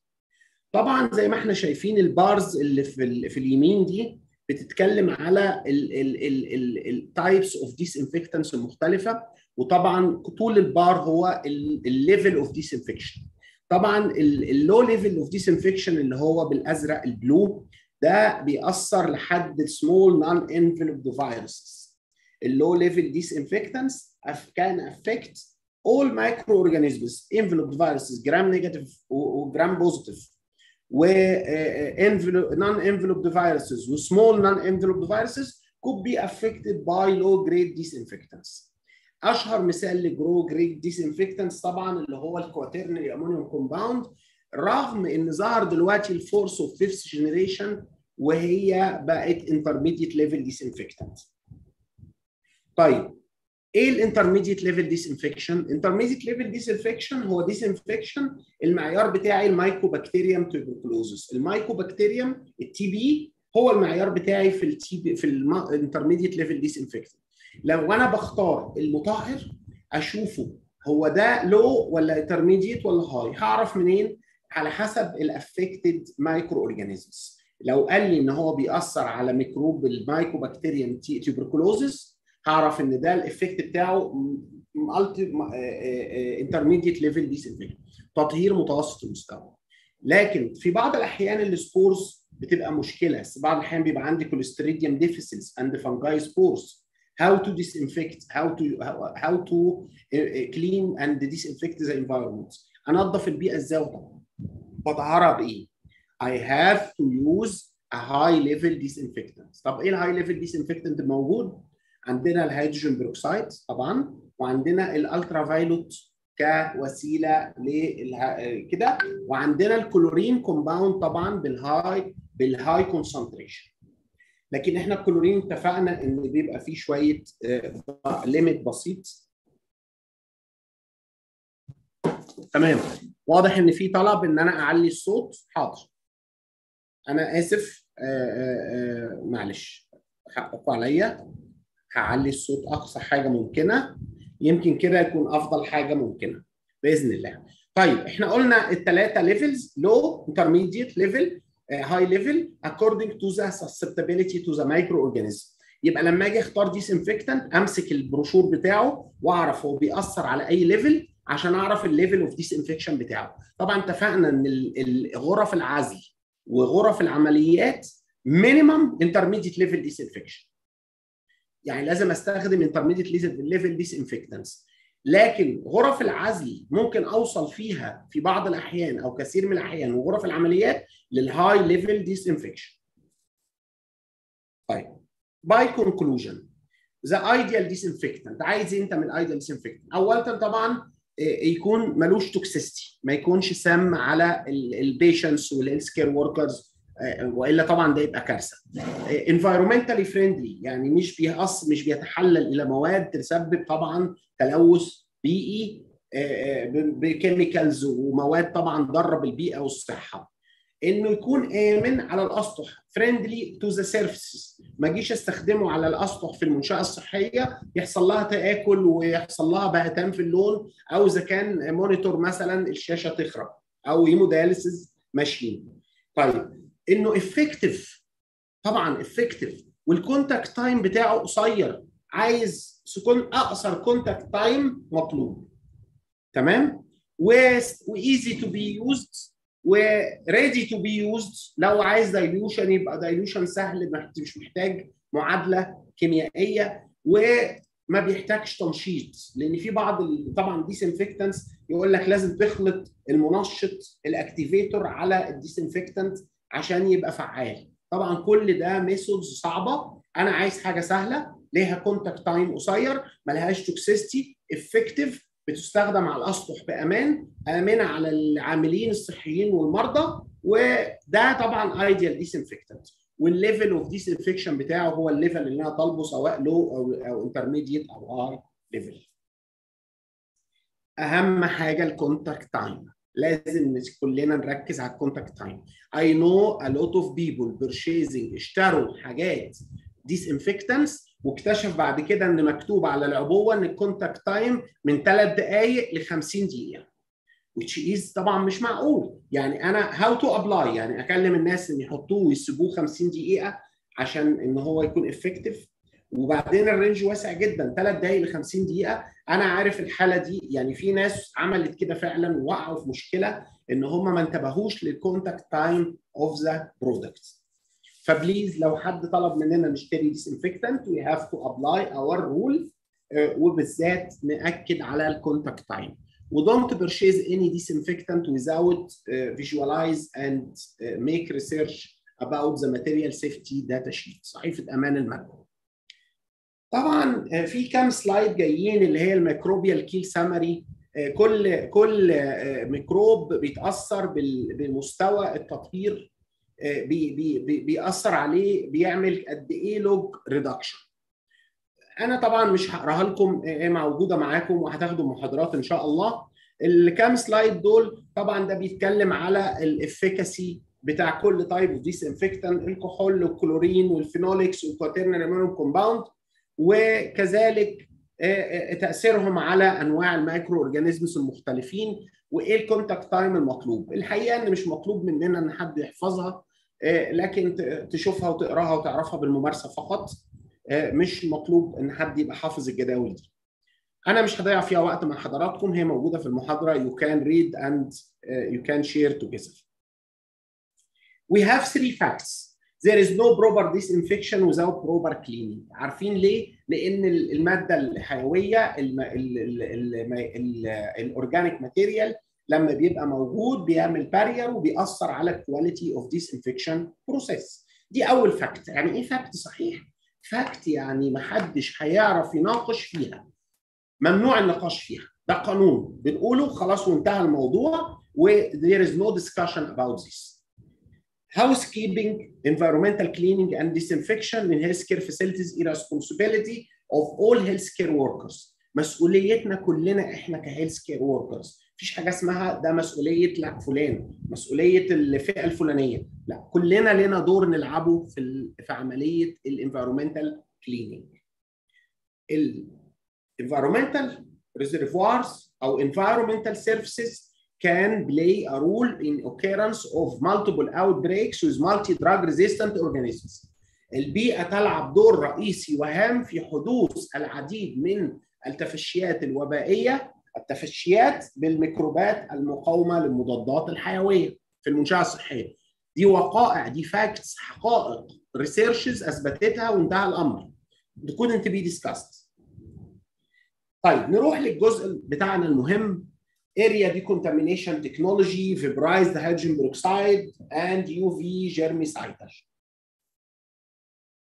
طبعا أول حاجة إيه هو ال terminal decontamination أو ال terminal cleaning أو ال environmental cleaning after patient discharge لما تسمع كل ال terms دي تعرف إن مقصود بيها حاجة واحدة بس مقصود بيها هي عملية تنظيف وتطهير البيئة الشاملة بعد خروج المريض من الغرفه cleaning and disinfection after the patient discharged and or transferred this includes the removal of all organic materials اللي هي في عمليه التنظيف السطر ده معناه عمليه التنظيف and elimination of microbial contamination وده بقى معناه استخدام التكنولوجيا اللي قلنا عليها طبعا ما فيش شك إن في وسائل يدوية there is a manual terminal decontamination or manual terminal cleaning environmental cleaning.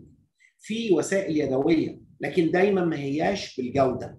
طيب إحنا ليه صحيح عايزين نستخدم التكنولوجيا في ال whole room disinfection ليه عايزين نستخدم التكنولوجيا في ال terminal cleaning why we have to use the technology we have to use the technology لأن اصطلح مع البشر إن الحقيقة إن البشر دايما بيفتقدوا للدقة اللي لها كمبيوتر.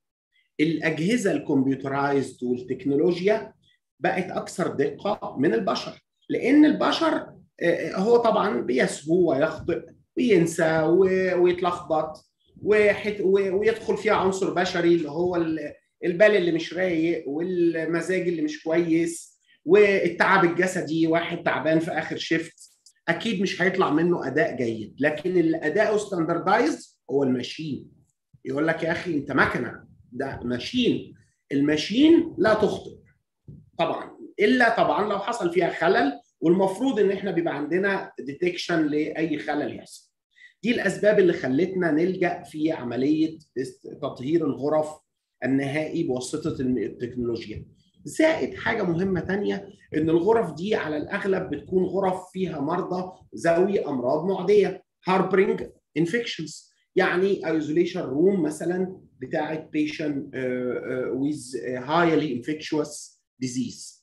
Patient died or transferred or cured الحمد لله. the room is highly contaminated. I need to decontaminate this room and make it safe. هأدخل بني آدم وده في risk إنه يلبس الماسك غلط ولا يتعرض للعدوى ولا أدخل machine؟ يبقى استخدام ال machine أفضل من حيث الدقة أفضل من حيث ال safety لل طبعا ال human people طيب هنيجي لأول نوع. هو عندنا نوعين اثنين فقط ما لهمش ثالث أول نوع dry mist or vaporized hydrogen peroxide طيب إيه ال concentration المطلوب من ال dry mist أو ال vaporized hydrogen peroxide طبعا ال hydrogen peroxide كلنا عارفينه. خلاص؟ ك chemical. هو high level disinfectant هو مطهر عالي المستوى طيب ال machine بتعمل إيه؟ في نوعين من ال machine. نوع منهم بيطلع رذاذ جاف وده اللي منتشر في كل منشآتنا الصحية تقريبا.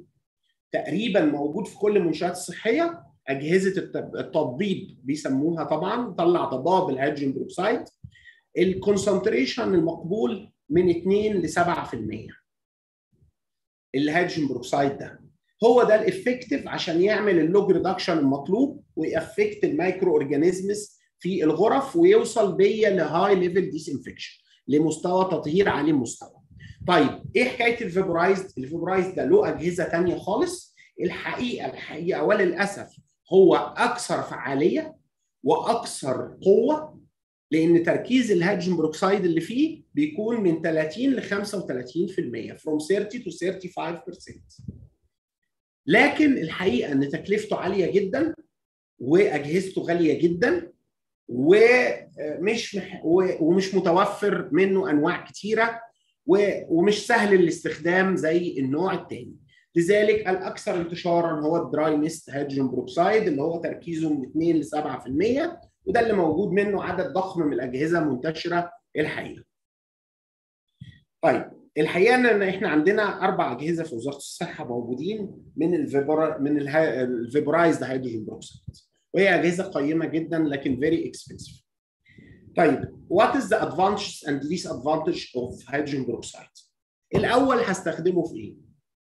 هيستخدموه في ال area decontamination غرف المرضى وغرف العمليات ال OR وغرف المرضى I need to decontaminate after being discharged of the patient. طيب بستخدمها في وجود البشر؟ No. It couldn't be used in presence of human being. ودي حاجة أكيدة. طيب دي عيب طبعا مش ميزة. طيب إيه تاني مميز عيوب؟ عيوب إن هو مادة كيميائية. ممكن إنها تتسرب. لو ما كانش فيه complete sealing لو الغرفة مش محكمة الإغلاق هتتسرب. ولما تتسرب بره وتصل لحد معين ممكن تسبب people people have have risk of uh, chest tightness or bronchial asthma history of bronchial asthma. ممكن ب initiate initiate bronchial asthma. طبعا can affect برضه the العين the eye and can make uh, allergy or irritation of the conjunctiva الملتحمة بتاعت العين تحمر وتدمع ويعني لأنه مادة شوية irritant في إيه إذا اتسربت أو رائحتها زادت في الجو. ده disadvantage من ال hydrogen peroxide. طيب في disadvantage تاني إن أنا ما بقدرش أدخل الغرفة I can't use the room rapidly after the end of the session. The room should be remained closed sometime until complete aeration and يعني بيحصل زي إن ال hydrogen peroxide level في الهواء جوه يقل. ما أقدرش أدخل مريض جوه. يبقى I can't use the room rapidly. الموضوع بياخد long time.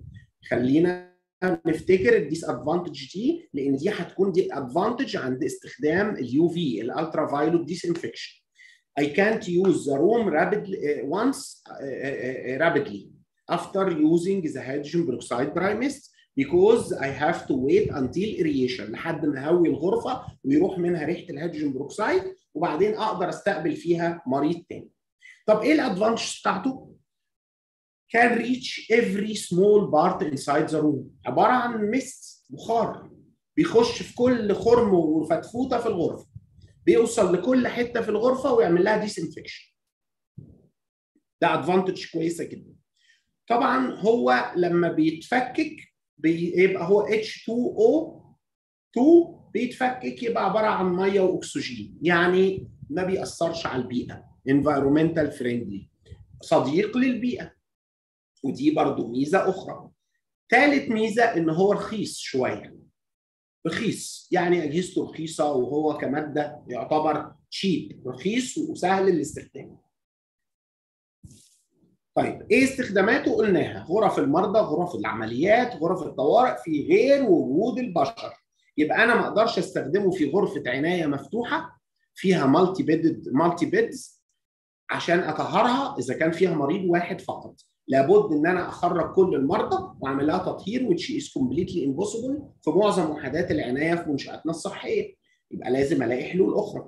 طيب نروح على second type of technology. We have UV germicidal irradiation. UV germicidal irradiation هي عبارة عن التطهير بالأشعة فوق البنفسجية. إيه أنواعها؟ عندنا نوعين من الأشعة فوق البنفسجية. عندنا نوع زئبقي ونوع اسمه pulsating اللي هو بطريق الومضات. إحنا بنفضل ونستخدم في منشآتنا الصحية النوع اللي هو ال mercury based ما بنستخدمش الومضات لأنها أكثر فعالية وأكثر أمان. طيب إيه استخداماتها؟ بتستخدم في تطهير غرف المرضى في كل المنشاه الصحية وغرف العمليات ال OR بدون محاذير وفي غير وجود البشر الله برضه في غير وجود البشر without presence of human being yes ليه؟ لأن ال ultraviolet الأشعة فوق البنفسجية لا يمكن استخدامها في وجود البشر because if someone present during the UV working the UV will burn his retina. إيه الريتنا دي؟ اللي هي شبكية العين. هتحرق له شبكية عينه إذا بص في الأشعة فوق البنفسجية مدة طويلة. خلاص يبقى للأمان لا تستخدم في وجود البشر. طب إيه مميزاتها وعيوبها؟ والله مميزاتها هي إنها فعالة بتديني high level disinfection بتأثر على كل ال microorganisms لحد ال spores وال fungal spores بتعمل لها دي complete destruction طيب نمرة اثنين آه رخيصة جدا ما بتكلفش حاجة في إنتاجها وملهاش آه مصروف. يعني زي ال hydrogen peroxide chemical تشتري وتعمل لا ملهاش مصروف ونظيفة جدا. نمرة هي عبارة عن ضوء. نمرة ثلاثة easy to be used سهلة الاستخدام طبعا جدا. وسهله الاستخدام في كل مكان طيب وبرده من ضمن مزاياها could be إنها تستخدم في غرف العنايات المفتوحة إذا عملنا حاجز بسيط من غير أي sealing على سرير مريض أو patient zone to disinfect this zone only without exposing other beds حتى لو كان فيهم مرضى طيب إيه عيوبها؟ أشهر عيب وأهم عيب لل UV هو ظاهرة الظل. ظاهرة الظل اللي هي ال shadowing effect بما إنه ضوء والضوء يسير في خطوط مستقيمة يبقى أنا لو حطيت الجهاز في أي مكان في الغرفة هيحصل إيه؟ إنه حي... في أسطح هتتعرض له وفي أسطح will be in the shadow هتبقى في الظل مش هتتعرض للضوء ده وبالتالي مش كل الأسطح 100% هتكون تعرضت. الحقيقة الحقيقة المواضيع دي ال shadow effect ده هيتحل بواسطة إن في ناس طورت جهاز يتكون من عدد لثلاث خمس وحدات تعمل معا سويا. الجهاز ده الحقيقة موجود في وزارة الصحة وعشان كده إحنا اشتريناه. أو الوزاره قامت بتوفيره هو ذو كفاءة ممتازه الجهاز ده عنده قدرة إنه يوصل ل 99% أو zero أو يوصل ل zero shadow effect. طبعا. والأجهزة دي متاحة في وزارة الصحة طبعا أعتقد بكثافة وأعتقد ناس كتير منكم عندها وبيستخدموها وأنا بطلب إنها تستخدم بصورة عالية مع ال hydrogen peroxide.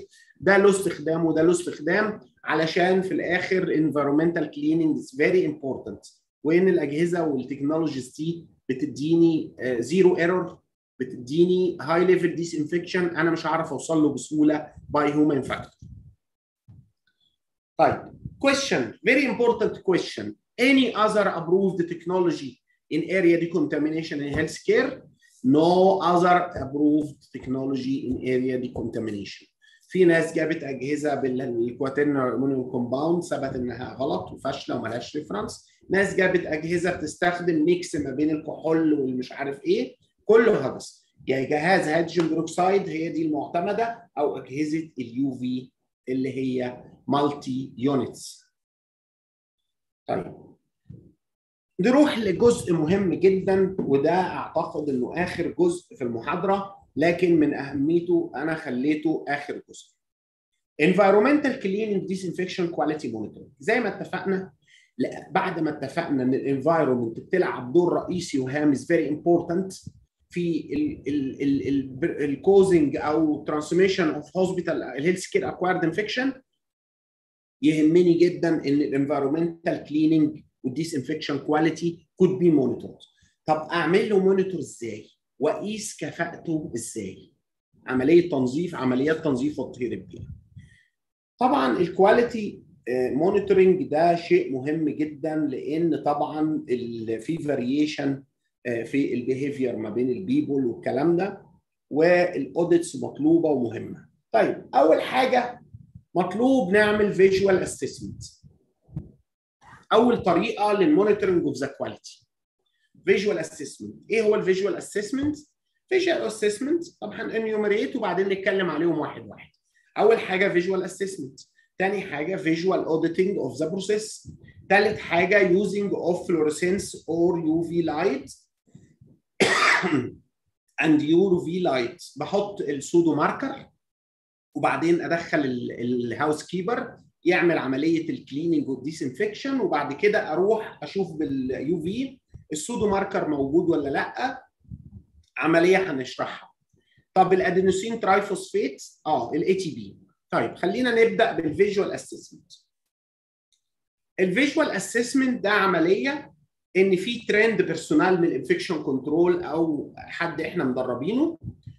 بيروح يبص على الأماكن بعد ما اتعمل لها cleaning and disinfection ويشوف كفاءة يعني نظريا كده ال environment is clean or not طبعا خلينا صراحة إن this method is subjective عملية شخصية بحتة. يعني أنا ممكن أدخل مكان أقول المكان ده نظيف غيري ممكن يدخل يطلع اسطح مش نظيفه وبعدين من أحد عيوبه واهم عيوبه طبعا إن هو I can't detect the microbial load وال log والكلام ده كله. يعني ما بقدرش أعمل detection لل bacterial load on the surface أنا بس أشوف المكان نظيف ظاهريا لكن ليس كل شيء نظيف ظاهريا هو نظيف على أرض الواقع. ممكن يكون عندك millions of microorganisms لكن ظاهريا المكان نظيف. يبقى اتفقنا ان ال visual assessment هي طريقة إحنا قلناها لكن مش هي the best way ومش هي احسن طريقة تستخدموها. طب what is the other طيب الطريقة الثانية إيه؟ Environmental cleaning performance observation. الحل الثاني إن أنا أروح أقف أمام أثناء عملية التنظيف والتطهير. I should observe the process and the steps of the process of environmental cleaning نفسها يعني. أنا أروح أقف في الغرفة وهم بينظفوها وبيطهروها. طب هشوف إيه؟ هشوف كل ال process كاملة وأتأكد إن هم عملوا process from A to Z adequately بطريقة سليمة and perfectly. طبعا برضو من ضمن ال disadvantages أنا هستهلك وقت طويل قوي. تخيل لو كل عملية تنظيف مضطر أبعت واحد من ال infection control to observe الطريقة والمكان بالإضافة إن فيها برضو حاجة يعني personal subjective issue حد يبقى متشدد حد يبقى متراخي حد ينشغل حد يرد على تليفون. يعني الحقيقة إنها مش طريقة برضو جيدة جدا. طب أنا دكتور سامح أنت بوظت لنا الطريقتين ال visual assessment وال process observation ال process observation دي أفضل شوية من ال visual assessment لكن ما زالت it is not a perfect way for quality monitoring of environmental cleaning نروح بقى للطرق الكويسه الحلوه الممتازه اول طريقه هنعمل environmental marking اللي هي ال fluorescence marking هنجيب طبعا قلم fluorescent هو موجود بيبقى عباره عن kit القلم fluorescent ده and I'll go to the room before the housekeepers or cleaners come I'll make pseudo marking طبعا هعمل غالبا في حتت well known بالنسبة لي. Maybe أكون أنا عندي table جدول في ورقة مثلا ال door knob ال bed rails ال monitor knobs أماكن محددة وأعتقد معظمها هتكون من high touch surfaces من أماكن متكررة التلامس. After that, I'll ask the cleaner or housekeeper to come to clean the environmental surface. هقول له تعالى اتفضل امسح لي الغرفة ونظفها. وإذا كان في عضو هيئة تمريض كمان هيدخل هينظف ال monitor والأجهزة الخاصة بالمريض هخليه يدخل. بعد كده after finishing the room they finish the room بعد ما يخلصوا I'll come with UV light lamp صغيرة كده مصباح صغير في إيدي يعني زي البطارية وأعمل visualization زي the to the known area for me with marker. If the process is effective effective the marker will be disappeared. هيتمسح ال marker ويروح. يعني أنا هيكون عندي جدول مثلا على التليفون أو على ال iPad أو على اللابتوب بتاعي حاطط فيه اكره الباب كذا كذا كذا كذا كذا أعدي عليهم تاني اللي أنا عملت فيهم ال pseudo marker اللي مش باين ده والمفروض إن هم عدوا على المنطقة دي وأحسب ال percentage ال percentage of these areas is the quality percentage. نسبة طبعا عملية نسبة نجاح عملية التنظيف والتطهير. الحقيقة إن ناس كتيرة جدا يعني ما حدش بيعدي نسبة 60% عشان كده اتفقنا إن استخدام التكنولوجيا شيء رائع للتلافي الخطأ البشري. ما حدش بيعدي نسبة 60% كواليتي تمام. نروح لل... لل طبعا دي بتشرح تقريبا ال process إزاي أنا بعمل ال pseudo marker وبعدين أحط ال UV light وبعدين باجي أبص بال UV light عليها تاني ما ألاقيهاش. زي ما إحنا شايفين محطوط على ال door knob. طيب في طريقة تانية مهمة برضو. الطريقة دي آخر طريقة اللي هي ال adenosine triphosphate ال ATP إيه هو ال adenosine triphosphate ال adenosine triphosphate ده عبارة عن material هي بتوضح إن في يعني biological material في المنطقة موجود في السطح ده. وده طبعا حسب الميكروبس والميكروبس والفيروسز والفنجاي بتبقى موجودة. تمام. اللي بيحصل إن أنا في أجهزة زي دي كده معروفة بتقيس بيها الايه ال adenosine triphosphate. وجود ال adenosine triphosphate بنسب عالية معناه إن في biological materials على هذا السطح.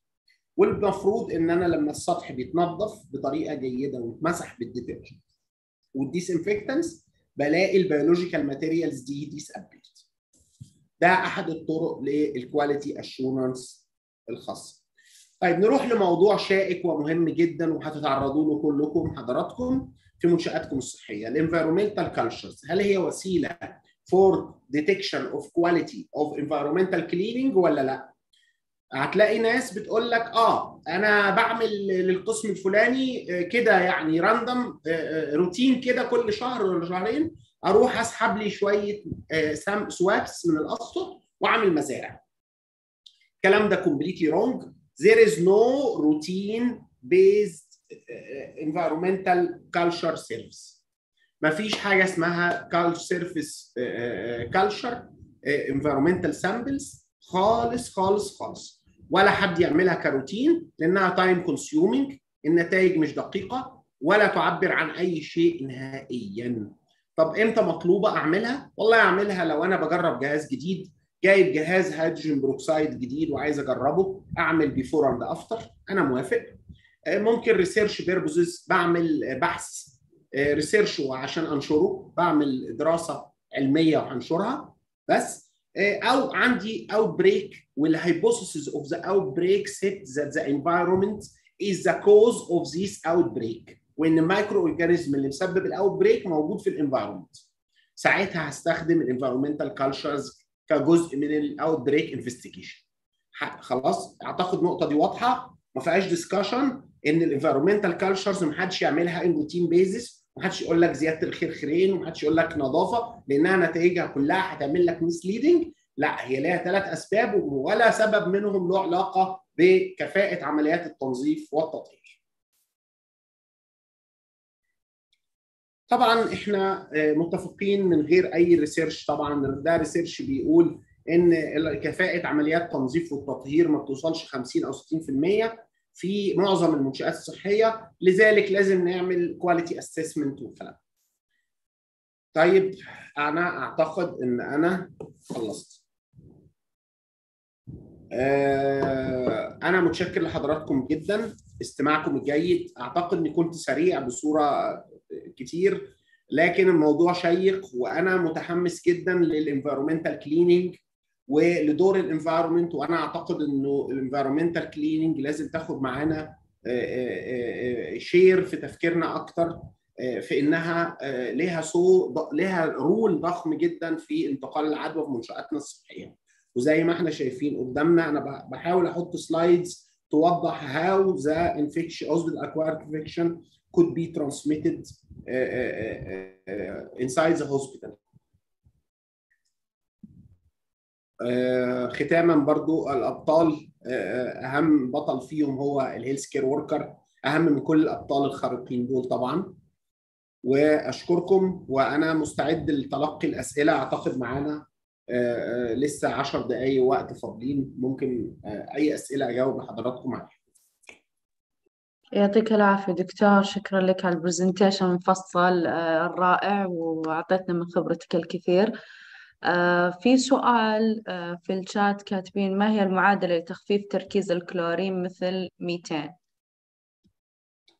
200 200 جزء في المليون واحد ل واحد ل 500 جزء ل 500 جزء مية. تمام يعطيك العافية دكتور. آه في سؤال آخر يقولون هل أنه يتم عمل ال culture بعد البناء والهدم؟ آه أو الترميم طبعا. آه لا يتم عمل cultures بعد البناء والهدم إلا في قسمين فقط قسم العمليات الجراحية وقسم العزل الوقائي اللي هو مش موجود في مستشفياتنا كتير اللي هو ال protective environment اللي هي غرف العزل الإيجابي للمرضى ذوي المناعة المنخفضة. دول المكانين اللي أنا بعد ما أعمل construction وأفتتحهم لازم هحتاج أعمل environmental cultures و by the way مش هعمل environmental surface cultures هعمل environmental air cultures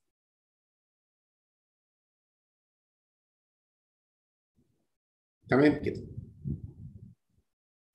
تمام يعطيك العافية دكتور. بس بشوف قاعدة أشوف أسئلة لها علاقة بالمحاضرة. خدي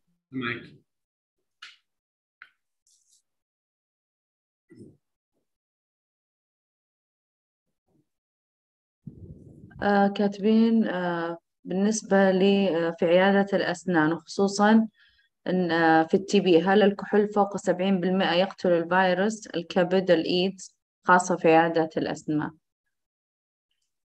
الكحول فوق 70% بيقتل هذا الكلام كله. لكن في مشكلة في الكحول أنا لأني ما ما كلمتش كتير على أنواع ال disinfectants طبعا وكل واحد مزاياه وعيوبه لأن حسيت إن الأحسن إن إحنا نتكلم في المواضيع الأهم. لكن هنقول حاجة إن الكحول is effective لكن عندي في الكحول مشكلتين إنه سريع الأكشن بيبدأ بسرعة جدا الأكشن بتاعه وزي ما بدأ بسرعة بيروح بسرعة. يعني بعد maximum 10 دقائق will there is no effect for the alcohol. الحاجة الثانية الكحول بيتأثر تماما بوجود أي biological material بتوقف عمله تماما. فالكحول مش هو أفضل شيء نستخدمه لكن لو على السؤال على ال efficacy نعم هو effective لكن مدة ال efficacy بتاعته قصيرة جدا جدا جدا. تمام. في سؤال تغيير الموية والأدوات كل أربع إلى خمسة غرف بينما ال IPAC يقول إنه ثلاث غرف أو كل ساعة. الحقيقة التوضيح ده our guidelines وما فيش مانع طبعا طالما سمعنا المعلومة دي من حضراتكم. We have to go back uh, to the updated guidelines international guidelines زي ال IPAC وال CDC ونعمل revision ونعمل update لل guidelines الخاصة بينا. وعلى فكرة في update هيصدر قريبا لل environmental cleaning guidelines آخر سؤال دكتور. هل أثناء التعقيم بجهاز التعقيم يفضل إغلاق جميع الفتحات والمخارج؟ طبعا بنتكلم على جهاز ال hydrogen peroxide بس أنا زعلان من كلمة التعقيم. لا يوجد تعقيم للبيئة. again لأن التعقيم معناه قتل جميع الميكروبات تماما والحفاظ على بيئة معقمة. واتفقنا من الأول إن الأسطح البيئية لا يمكن تعقيمها. تطهيرها تطهير عالي المستوى طبعا الجهاز اللي هو ال hydrogen peroxide أيوه أفضل. يفضل إغلاق جميع الفتحات علشان الجهاز يقدر يوصل لل concentration المطلوب في في الغرفة. الكافي ال concentration الكافي في كل أجزاء الغرفة لقتل الكافي لقتل الميكروبات والتطهير تطهير عالي المستوى.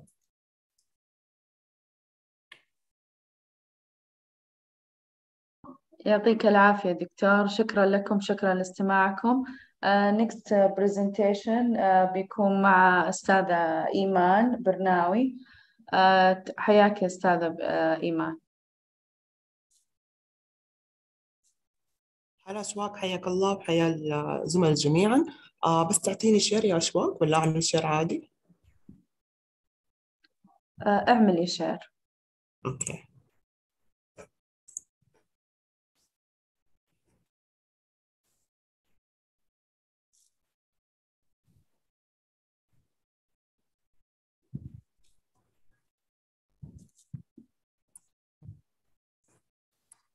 آه full screen يا أشواق واضحة؟ واضح يعطيك العافية تفضل. آه بسم الله الرحمن الرحيم يديكم العافية. معكم إيمان برناوي أخصائي أول مكافحة عدوى أمراض معدية آه تقريبا آه مدرب آه OSHA. آه حنتكلم اليوم إن شاء الله عن أهم عنصر من عناصر ال ال support services وهو ال medical waste اند الشارد مانجمنت البوربس من محاضرتنا اليوم انه provide uh, control methods and monitoring uh, for safe handling, storage, labeling, segregation, and reporting, transportation, safe disposal, and treatment processing by healthcare, uh, by health and uh, safety uh, guidelines, laws and regulation of infectious and non-infectious uh, medicals. الهدف من محاضرتنا اليوم انه آه نتاخذ تقريبا اخذ المعلومات الكافيه أو المهمة عن آلية التعامل مع ال medical waste سواء كان في حفظها في تعنونتها في التخلص منها في آلية عمل التقارير في آلية نقلها بطريقة آمنة بحيث إنها تقلل ال contamination سواء كانت في ال environmental وال services وتقلل ال risk لل healthcare workers وحنتكلم عن هذه النقاط كلها. line اهم النقاط اللي حنتكلم عنها حنتكلم عن ال definitions بصفة عامة اللي هي عن ال medical waste وال segregation second point types of medical waste أنواعه ال waste segregation كيف نتخلص منه. Segregation and disposals and infectious medical waste.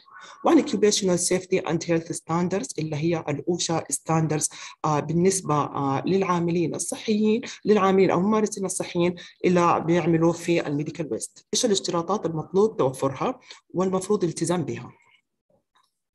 أول حاجة آه نجي نتكلم عن ال definitions اللي هي ال healthcare waste أو ال medical waste defined as any waste generated by facilities that provide various healthcare services سواء كانت hospitals, home healthcare services, laboratories, pharmacies, vaccine manufacturers, uh, laboratory and research centers.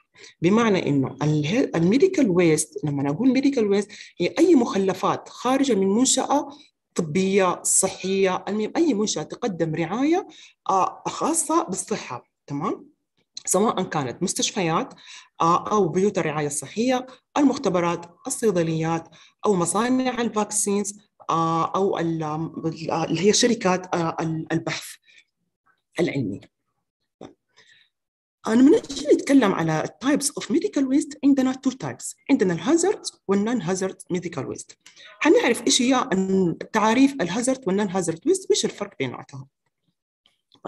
ال hazardous اللي هي define as أو refer to any hazard hazardous material no longer in use that represent threat أو أو harm uh, life uh, للhealth or in the environment. لما أقول hazard يعني حاجة خطرة بمعنى إنها أي مادة سواء كانت عضوية أو كيميائية تكون uh, لها أثر أثر سلبي على الصحة بما إنها تكون قاتلة أو إنها سامة سواء كانت للصحة أو للإنفايرمنت. نجي لأنواع الهازارد ويست. عندنا كذا نوع منها وغالبا هذه جميعها نستخدمها we can use it in the health facility in the health facilities. نجي أول نوع من the first type is psychotoxic waste. Refer to any residual psychotoxic agent that remain following patient treatment and any material or equipment considered as waste, potentially contaminated with psychotoxic agent, not including contaminated body fluid. يعني cytotoxic waste نجي نتكلم عنها إنه ممكن إنه نجد cytotoxic agent بمعنى إن المواد الكيميائية اللي نستخدمها في ال chemotherapies أي related لها هذه نعتبرها من ال waste.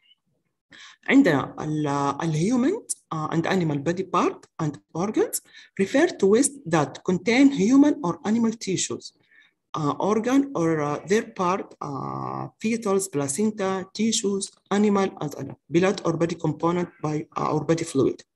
آه برضو إحنا نعتبر آه المخلى آه لا ليس نقول مخلفات ولكن نقول الأجزاء البشرية أو بعض الأعضاء البشرية نعتبر منها إنها waste أو نسميها اللي هي body body waste أو human waste آه مثلا عندنا زي ال placenta آه عندنا ال ال organs آه إذا كان مثلا آه عملنا فيها laparotomies ولا ال organs اللي تطلع for biopsies ال organs ال fetals ال dead fetals آه إذا كان عملنا مثلا amputations ال body part اللي هو amputated not needed هذا برضه يعتبر waste وليه آلية خاصة بالتخلص منه. بعد كده عندنا الاذرز تايب عندنا infectious waste refer to waste which contain biological agent bacteria viruses uh, parasite fungi uh, in uh, quantities or at uh, concentration are sufficient to cause infectious disease to individual susceptible to infections or any item contaminated with blood or body fluid وإحنا عارفين الانفكشوس ويست تقريبا هو أي ويست كونتين بيولوجيكال ايجنت بمعنى عندنا غالبا نلاقيها فين؟ نلاقيها عندنا مثلا في البكت... في الميكرو في ال microbiologies. آه زي ما نقول عندنا عندنا ال blood تبعت ال microbiologies آه عندنا مثلا ال blood آه cultures آه اللي في ال microbiologies. آه عندنا كمان مثلا إذا كنا في غرف آه غرف العزل الخاصة ب ال patient لما نستخدم ال PPEs أو أو any uh, any devices related to this patient كلها بنتخلص عنها في في الإيش؟ في ال medical waste ونتعامل معاه على إنها infectious waste وخاصة في بعض منها مثلا نقول زي ال dressing whatevers خاصة لما تكون لل patient اللي في غرف العزل examples لما نكون مثلا غرفه عزل المريض إذا كان airborne ولا المريض إذا كان على contact isolation A sharp waste refer to waste which contain sharp items such as vaccine glasses, vials, needles, syringe, which is need uh, couples uh, license. بصفة عامة أي sharp مستخدمة في المنشأة الصحية نحن نتعامل معها على إنها sharp waste وزي ما هي ال examples هنا موجودة اللي هي عندنا ال needles آه، ال vials آه، المشارط الجراحية كلها نعتبرها على إنها sharp waste ولها آلية خاصة بالتعامل لها container خاص فيها نتعامل فيها حنتعرف فيه في السلايدات القادمة. Type of uh, waste عندنا non-hazard medical waste refer to waste similar to that found in non uh, non-capital waste generated by administrative department general cleaning work within a healthcare facilities معنى انها ال normal waste أو إحنا ممكن نسميها uh, في العاده اللي هي ال normal waste اللي هو يكون صادر غالبا من ال offices آه ما نقول ال offices اللي هي الموجوده في ال facilities من المكاتب آه all are not contaminated آه نتكلم عن النقطة الثانية اللي هي ال ال التعريف, التعريف الثاني اللي هو الويستيجريشن إيش هو الويستيجريشن؟ الويستيجريشن uh, refer to separation of a group of healthcare waste by the generators حنعرف مين هو الجنريتورز at the site of their, uh, of their generator within the facility and during stage of collection, storage and transportation. Westigration بمعنى فصل فصل اللي هو الويست فصل ال waste هذا أو آه ليه آلية معينة. إحنا عارفين إنه جميع المنشآت الصحية في غرفة خاصة اللي هي تجميع النفايات الطبية في آلية خاصة آه بتوزيع النفايات زي ما قلنا إحنا عندنا medical عندنا sharp waste عندنا medical waste. فآلية العمل هنا اللي هو ال generator اللي إحنا غالبا يسمى بال yellow man أو إنه العامل الخاص بالشركة سيبكوم أو الشركة المشغلة للنفايات الطبية إنه ليه آلية خاصة للتعامل بفرز ال waste سواء كان ال sharp container لآلية حفظ معينة وتجميع. ال medical waste اللي هي ال plastic waste لها آلية حفظ عليها آلية تجميع وحفظ معينة. ونفس الشيء عندنا لو جينا لل biological waste وال chemical waste برضه لآلية معينة. وهذه غالبا كلها ما يعرف أو يكون عليها ال generators. أو ال personnel يكون فيها مدرب. آه هذا آه ال slide تقريبا يبين لي اللي هي وزارة شعار وزارة الصحة وال OSHA. ال OSHA اللي هي ال occupational safety health administrative اللي هي منظمة آه الصحة العامة. آه تقريبا هي من المنظمات العالمية اللي بتحث بتحث أو بمعنى نقول تهتم بالرعاة أو بالممارسين بصفة عامة سواء كانوا صحيين أو عاملين توفر بتطبيق ال extra precaution لحمايتهم. تمام؟ وعندها تقريبا في standard معين عندها اسمه standards ال medical waste. تتكلم فيه عن آلية تطبيق ال medical آلية جمع ال medical waste وإيش ال precaution اللي المفروض اللي تعامل فيها العامل في ال medical waste. وإيش ال PPEs وإيش احتياجات هذا الموظف إنه يتعامل فيها. فبالتالي طبيعي وزارة الصحة من حفاظها على الممارسين الصحيين وحفاظها على العمالة تم تطبيق تقريبا نفس البرنامج وبكفاءة ممكن تكون أعلى على آلية الحفاظ وآلية الجمع والجمع والتخلص. وفي نفس الوقت نجي برضو آلية الحفاظ على اللي هو الموظف اللي بيتعامل بالنفايات الطبيه آه هذا قرار وزارة الصحة أتوقع أنه الكل عارف والكل عنده. آه اللي هو القرار الذي يعتمد في اللي هو تصنيف النفايات الطبية عن النفايات الغير طبية فين في المنشآت الصحية. طيب آه هذا بس صورة القرار من البداية. بالنسبة للقرار آه برضو يبين لي آه آلية آه قلنا آلية التصنيف لكل جزء أو لكل نوع من النفايات الطبيه. نجي لاول حاجة اللي هو segregation dispose of infectious medical waste اللي هو infectious waste will be collected in yellow plastic bag uh, bring uh, the biohazard uh, medical waste in Arabic along with biohazard logos. uh, من اهم مواصفات اللي هو ال medical waste collections عندنا اثنين عندنا ال containers وعندنا bag تمام؟ من مواصفات ال containers حنلاقيها زي ما قلنا حنلاقيها في وزارة الصحة في التعميم وبرضه حنلاقيها في ال OSHA.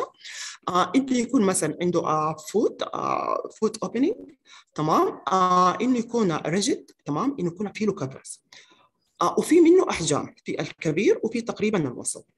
وعندنا نفس الحاجة آه عندنا فيها برضه آه بلاستيك تمام ومن مواصفات البلاستيك اللي يوضع في وسط ال container إنه يكون رجل تمام آه في مواصفات عالية الجودة بحيث إنه لما آه يعبى في الكيس ويجي العامل يشيله إنه إيش؟ إنه ما يتفك عليه أو إنه ما, ما بمعنى إنه ما يتشق. طيب في آلية للتجميع حنيجي عليها نتكلم فيها. ال sharp waste will be disposed in yellow برضه thick leak proof puncture proof container. آه برضو آه bearing the phrase لازم أهمي آه جدا مهم إنه يكون في عندنا ال phrase of ال hazard sharps items in Arabic or English and biohazard logo تمام؟ okay ممكن إحنا الصورة هذه ما فيها إنه مكتوب الشعار آه بالعربي والإنجليزي ولكن أنا يهمنا جدا وجود شعار ال biohazard من مواصفات ال sharp waste آه إنه آه يكون زي ما قلنا يكون rigid تمام؟ آه إنه يكون آه leak proof آه و puncture proof يعني ما يكون خفيف يكون جدا رجل. ويكون في له hole واحدة تقريبا انه مجرد اللي هي ال hole اللي أنا أحط آه اللي يوضع من خلالها ال sharp مجرد ما إني أقفله لازم إنه ما يفتح. يعني صعب يكون يكون صعب فتحه. تمام؟ آه في آه في بعض الأقسام أو في بعض الأنواع آه other type إنه يكون اللي يتعلق في الجدار تقريبا في المستشفيات. وهذه برضه لها شروط. من شروطه آه إنه يكون على ال eye levels يعني ما يكون إنه تحت الإيد ولا إنه يكون عالي. ليش؟ بإنه يكون على ال body alignment آه لل healthcare workers هذا آه بالنسبة لل sharp waste آه نيجي لل body part organs ال body part organs تقريبا إحنا عندنا special plastic اللي هو يكون لونه أحمر.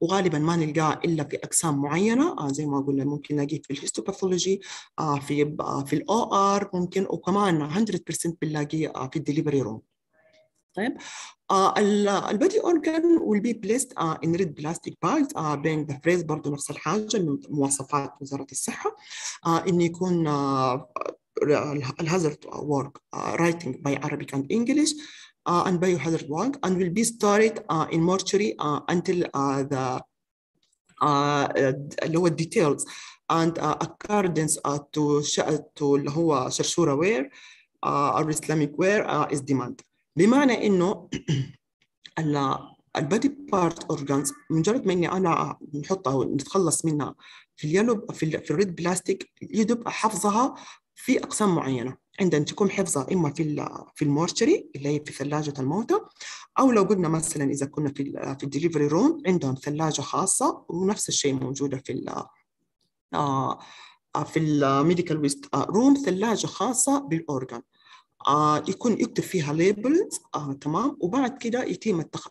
التخلص منها عن طريق الشركة آه المشغلة آه بطريقة اللي هو بالطريقة الإسلامية اللي هي عن طريق دفنها. آه عندنا ال highly infectious عندنا مثلا عندنا ال micro ال micro cultures ال virus ال TB ال TB ال Brucella ال fungi will be collected in plastic bag for pre-treatment with uh, with autoclave within the uh, generator uh, site. تقريبا الصادر من ال labs بيتخلص منه بنفس الشيء في صوت أشواق. تفضلي. أشواق الصوت واضح؟ أيوه okay طيب معلش آه طيب آه بنفس المشكلة عندنا ال ال ال equipment إلا أو الأشياء ال waste إلا الصادر من المختبر بيتخلص فيه في special plastic اللي هو في yellow bag مواصفات هذا ال yellow bag إنه يتم وضعه في أوتوكليف خاص يكون موجود في في المختبر. غالبا نقول إنه بنسبة 95 ل 80% من المختبرات عندنا غير موجود فيها الاوتوكليف ولكن في آلية خاصة الشركة تعرف تتخلص منها. يتم تجميع جميع ال cultures سواء كانت in general أو يتم وضعها في البلاستيك. ويتم التخلص منها بطريقة إنه وضع ال chemicals فيها أو الشركة تأخذها وتتخلص منها بطريقة بحيث إنها تقلل من الانفايرومنتال contaminations. segregation and dispose of infectious medical waste نقول إنه each infectious medical waste generator will be generate uh, will segregate infectious from non-infectious waste at the uh, generation uh, generation site.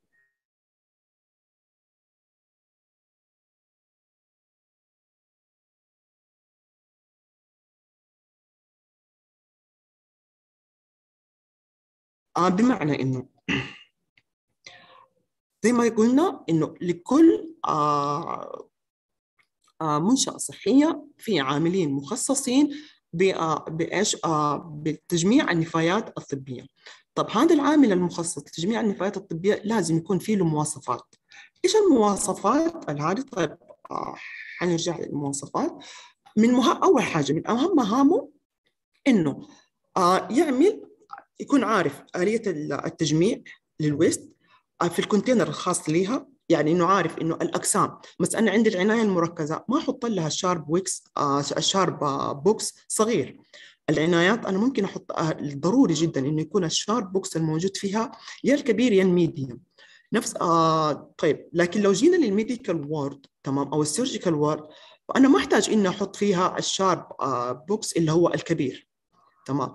فالعامل اللي هو ال generators لل medical waste هو عارف احتياج الأقسام بم... احتياج الأقسام بمتابعة اللي هو رئيس القسم. فيعرف الاحتياج إنه إيش الأقسام اللي تحتاج ال containers الكبيرة والأقسام اللي تحتاج ال containers الصغيرة. آه ونفس الشيء آه آلية التجميع. إنه أنا في أي قسم أنا أحتاج إني أجي كل ساعة وأجمع وأي وأي قسم أنا أحتاج أجي كل ممكن نهاية الدوام ولا كل أربع ساعات وأجمع آلية العمل أو ال frequent أو ال frequent work في ال department تفرق من قسم لقسم. ال work في ال في ال ICUs وال OR مو زي ال work أو ال ER كمان يفرق عن ال work في ال medical work ال medical ward ولا وال surgical ward. فبالتالي تكون في غالبا انه يكونوا عاملين جدولة اللي هي ال collection وال other distribution لل لل containers. هذه ال sticker labels ال biohazard logos من مهام رئيس القسم والعام والعامل نفس ال generators إنه يتم تعبئتها بطريقة صحيحة وتكون كاملة بحيث إنه لا قدر الله إنه صار للعامل any prick injury أو blood أو blood أو body fluid splash إنه إحنا as ال health care آه نقول clinic آه يعرف إنه إيش ال ال ال المخلفات الصادرة من هذه الغرفة أو من هذا القسم. فبالتالي إحنا نحتاج نحط لكل كيس أو سواء كان medical waste أو سواء كان sharp box تحتاج إن نحط اللوكيشن والديت والتايم والديبارتمنت كل حاجة بالنسبة لل waste هذا على حسب الشركة بتحط فيها ال waste لما تجي تتخلص منها حنتكلم عن هذه النقطة collection and transportation, uh, the collection and transportation of bag container of infectious medical waste require to the use of أول حاجة لازم يكون a special trolley well trained staff in order to uh, granted the highest degree of safety during collection transportation within the facility for prevention of leak or spill from bag containers. Healthcare worker who transport will be trained on spill management. الكوليكشن ترانسبورتيشن للباك تقريبا لها آلية محددة أو خاصة قلنا من مهامها إنه يكون العامل أو ال generator well trained تمام لإيش؟ well trained يكون آه لآلية التجميع آلية حمل الأكياس تمام آه آلية اللي هو إقفالها آلية نقلها وفي نفس الوقت كمان يكون trained على اللي هو التعامل مع الانسكابات آه سواء كان آه from the bags or from the containers. آه حاجة ثانية كمان إنه يكون trained على التعامل مع ال spill kit ال spill management in general. طيب. Requirement uh, for uh, a generator when transport the waste outside the locations uh, إنه لازم يكون ال infectious waste will be uh, picked and labeled correctly. بمعنى إنه وقت نقل ال medical waste سواء كان نقول نبدأ من البداية. نجي من نقطة التجميع في الأقسام. هم زي ما اتفقنا هم عندهم يكون ترولي كبير تمام اللي هو التجميع. يجي بيخش القسم وبياخذ من الاقسام وبعد كده بيروح لغرفة اللي هي ال final اللي هي غرفة التجميع الرئيسية.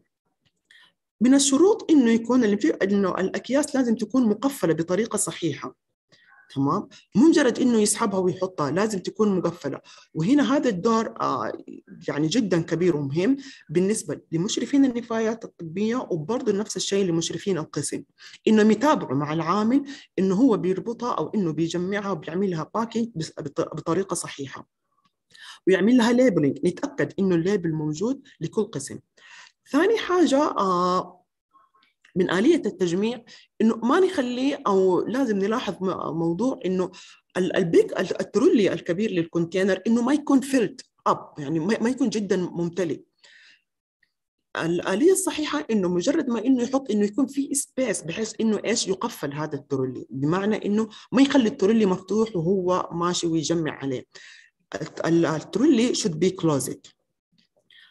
نقطة ثانية قلنا إنه only licensed personnel will be authorized to deliver the infectious waste. Licensed personnel بمعنى إنه إذا اليوم العامل ما جاء مثلا لظرف طارئ لا أو إنه مثلا تأخرت الشركة ما جات أو إنه الظروف بتصير كثير ما أخلي مثلا العامل الثاني عامل النظافة في القسم أو أي عامل يتعامل مع النفايات ويشيلها لا لازم إنه يكون عامل الشركة مخصص هو المسؤول عن تجميع النفايات any infectious waste being delivered uh, for transportation outside the uh, institution will submit a copy of the complete uh, hazardous medical waste uh, manifest from the, the waste treatment and disposal facility. Uh, من النقاط اللي تهمنا آه انه لما تجي الشركة اللي هي في ال point في ال final point اللي هي في غرفه التجميع النهائي إنه لازم إنه يكون في أنا عندي copy لل transportation لما تجي الشركة تاخذ ال medical waste من غرفة التجميع أنا لازم يكون في عندي document إنه تم استلام ال medical waste من غرفة التجميع بطريقة صحيحة ما صارت فيها مشاكل آه ما في ما في كيس مثلا مفتوح آه ما في sharp box آه غير مغطى ولا sharp box مفتوح ما في كيس عندي مخروق ولا في له oozing. يعني لازم هذه النقاط كلها تكون مكتوبة. وهذه غالبا بتكون من مسؤولية مشرف النفايات الطبية في نفس المنشأة الصحيه طيب. Note, infectious waste will, uh, will only be delivered to the waste treatment and disposal facility with the current valid license uh, obtained from the company authorized related hazardous medical waste manufacturer from and other related uh, documentation will be uh, archived from period uh, 10 years. بمعنى انه الشركه احنا غالبا شركاتنا مع شركه سيبكون تقريبا هي اللي ماسكه الميديكال ويست فمشرف النفايات الطبية برضه إحنا as as infection control ممكن في الأقسام في المنشآت الصحية. لازم يكون أنا في يكون موجود عندي file document بآلية التجميع وآلية آه اللي هو نقل اللي إيش النفايات الطبية. آه الفكرة منها هذه برضه من آه متطلبات الوزارة إنه ممكن تحفظ الملفات لمدة 10 سنين الأوراق اللي هي ال documentation لمدة 10 سنين أو حتى نهاية العقد بحيث إنه في في حال حدوث أي مخالفة آه أنا في عندي document إنه لا أنا ما خالفت النظام أو إنه ممكن آه في references آه لي إنه إنه عدم مخالفة النظام بإني أنا مطبقة جميع الشروط. طيب. ال occupational health safety standards and regulation for infectious waste generators زي ما قلنا إحنا ال OSHA حطت لنا regulation بالنسبة لعمال اللي هم ال generators اللي هم العمال ال medical waste من حطت لنا من أهم العوامل إنه يكون trained وده أو شوف من أول إحنا بنقول trained trained trained طيب trained على إيش؟ أنا في عندي specific point جدا مهم إنه العامل يكون trained عليها. أول حاجة يكون trained على ال donning وال doffing لل PPEs وحنتكلم عن ال PPEs لأنه تقريبا ال medical waste generators لهم special PPEs غير ال PPEs اللي إحنا بنستخدمها في في ال daily work في في ال hospitals ثاني حاجة يكون trained عن hand washing مهم جدا إنه يكون trained عن hand washing before and after عشان لما يجي يتخلص من النفاية أو لما بعد ما يتخلص من النفايات الطبية إنه لازم أو بعد ما يجمعها ويخلع ال PPEs إنه من من قسم لقسم إنه لازم يعمل hand washing أو hand sanitizers handling ال waste زي ما تكلمنا آه زي ما قلنا إنه لازم يكون عارف آلية اللي هي إيش؟ آه اللي هو حمل ال waste بحيث إنه يشيله بطريقة بحيث إنه يشيلها بطريقة صحيحة آه ما ي... آه ما يخمها بمعنى إنه يشيلها مثلا في في حضنه يحضنها آه ما, ما يشيلها بيدين لا يشيلها بآلية صحيحة. يكون قادر على التعامل مع ال spill kit تمام؟ آه سواء كان الميد... أو غالبا إحنا نتكلم عن ال spill kit ال medical spill kit آه عنده فكرة عن ال environmental cleaning زي ما تكلم فيها الدكتور سامي اداه العافية. بس هنا ال environmental cleaning حنتكلم عن specific rooms اليوم ال environmental cleaning حتكون فقط لغرفة ال medical waste لغرفة تجميع النفايات الطبية. وكمان وآخر trained على ال needle injury بحيث إنه آه إنه لو صار له needle injury إيش الحاجة اللي هو لازم يسويها؟ إيش ال steps سواء كان needle injury أو blood or fluid آه exposures ال steps اللي هو لازم يتبعها بإيش؟ آه في التبليغ لازم يعرف إنه أهمية إنه أنت مجرد ما إنه أنت صار لك needle prick أو blood and body fluid spill أنت لازم تبلغ لحماية نفسك أو لحماية نفسك من الإصابة بأمراض اللي هو ال blood وال body أو ال bloodborne pathogens النقطة الثانية برضه من كانت من ال regulations لل OSHA ال vaccination آه إنه لازم ال healthcare آه اللي هو ال generators ال medical waste لازم يكون أهم تطعيمه تكون عنده اللي هي ال hepatitis آه B vaccines ويكون فيها follow up آه مع العيادة المشغلة سواء كانت في المنشأة الصحية أو العيادة الخاصة بهم اللي هي اللي فيها التأمينات الصحية الخاصة بهم بالشركة. آه طيب ال occupation قلنا ال OSHA حطت لنا equipment for the ال waste generators اللي هي ال personal protective أول حاجة آه حطت لنا إنه لازم يكون يلبس surgical mask surgical mask عشان يحمي نفسه من الايش؟ من ال inhalations آه لأي آه airborne أو أو droplet آه disease. ثاني حاجة إنه ما يلبس لي ال normal gloves أو أو ال gloves اللي إحنا بنستخدمه الليثيوم. لازم نستخدم heavy duty gloves ليش استخدم ال heavy duty gloves ال heavy duty gloves استخدمه عشان ال protect himself ال heavy duty gloves جدا ثقيل بحيث إنه حتى لا يعني نسبة الإصابة ممكن تصير له needle prick لو مثلا صار by mistake إنه أخذ الكيس ولا أخذ ولا إنه هو وقت ما بيغطي ال sharp box إنه صار له need آه يعني طلعت آه needles إنه السوبر حتكون الإصابة جدا superficial ليه؟ لإنه ال gloves مرة ثقيل وغالبا صعب إنه يكون له punctures ثاني حاجة آه بالنسبة لل لل لل boot آه برضه نفس الشيء يكون عنده ال boot عنده من ال vinyls ويكون long seals آه بحيث إنه يحميه من إيش؟ من من ال spills آه يحميه إنه لما يجي يجمع آه في غرفة التجميع لما يجي يدخل ال trolleyات أو لما يجي يشيل إنه ما يخبط نفسه ما يعور عمره. فعشان كده برضه recommendation إنه ال boot حقه يكون من ال boot الثقيله آخر حاجة عندنا القا اللي هو ما نقول ال gown ولكن نقول ال dress ال clothes الخاصة به أو ال uniform الخاص به أول حاجة لازم يكون color coded تمام؟ ثاني حاجة يكون waterproof rigid إنه آه آه هذا ثلاثة. color coded waterproof ويكون إنه إيش؟ fix أو أو rigid ليش؟ عشان يحميه برضه من إنه لما إذا صار له splash إنه ما تخش ما يصير له absorb بسرعة تقريبا لجسمه.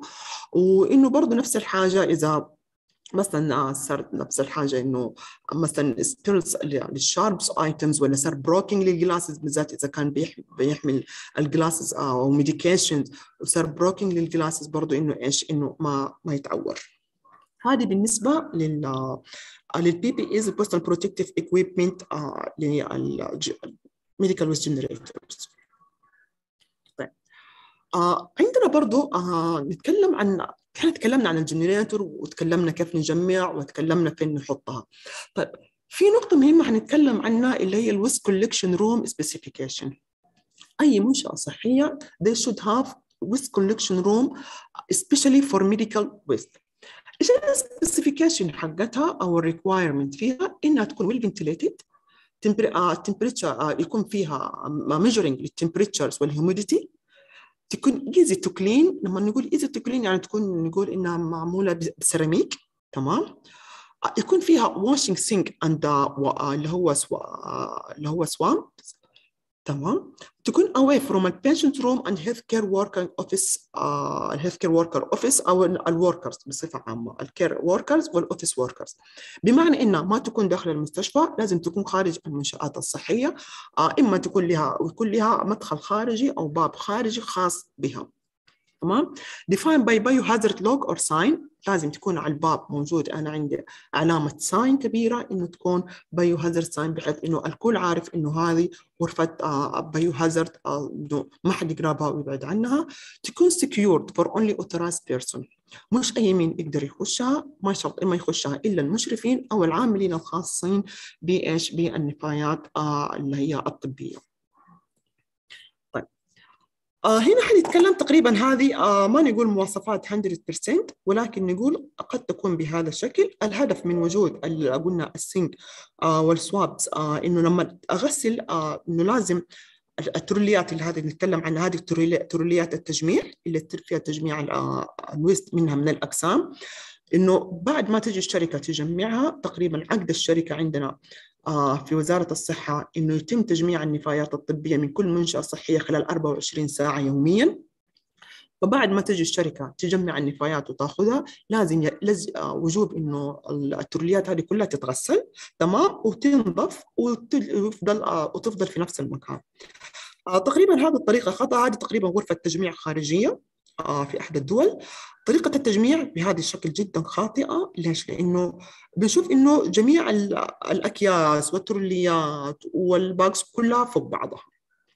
هذا جدا خاطئ. هذا بيعرض العامل ل risk إنه لو فتح الباب الثاني كلها تقريبا بتطيح عليه. اللي بتكلم عنها إنه العامل لما يجمع من الأقسام لا نسمح له إنه يمر من قسم لقسم والترولي بهذا الشكل مفتوح. غلط. فلازم الترولي يتعبى أنا أخلي مجال إنه يتقفل ولازم ينزل العامل. يغير الترولي ينزل في المستودع وياخذ ترولي ثاني ويطلع تعبئتها بهذا الشكل يعرضه هو مثلا إنه لل risk إنه ممكن وكيسنا الأكياس يطيح ويتعرض ل risk إنه ممكن الكيس يطيح في الأرض فبالتالي يصير له ينفجر الكيس أو آه ينفتح الكيس وبيعمل contamination لل area وال environment فبالتالي بيعرض الممار ال healthcare الآخرين أو ال visitors آه أو ال patients إيش؟ لل risk إنه ممكن يصابوا ب exposure ل blood و body fluid ولا يكون ل sharps injuries طيب. آه تقريبا هذا slide آه just for information آه ال finals آه ال final rules بالنسبة إيش بتكون؟ الاحمر تقريبا هنا عندنا ال body part بيصير فيها دفنها تمام؟ ال yellow وال وال normal waste بيتم فيها التخلص آه تقريبا إما عن طريق الحرق أو عن طريق تقريبا آه اللي هو نقول إنه إذابتها أو عن طريق صهرها تقريبا آه على حسب كل منشأة صحية وعلى حسب آه كل دولة هي إنه الكل المتعارف عليه إنه البدي بارت بيتم آه دفنها والتعامل معها بالطريقة الإسلامية. آه نجي تقريبا آه آه لتوزيعات الوست وتقريبا هذا حنلاقيها كلها في في التعميم اللي الصادر من وزارة الصحة اللي هي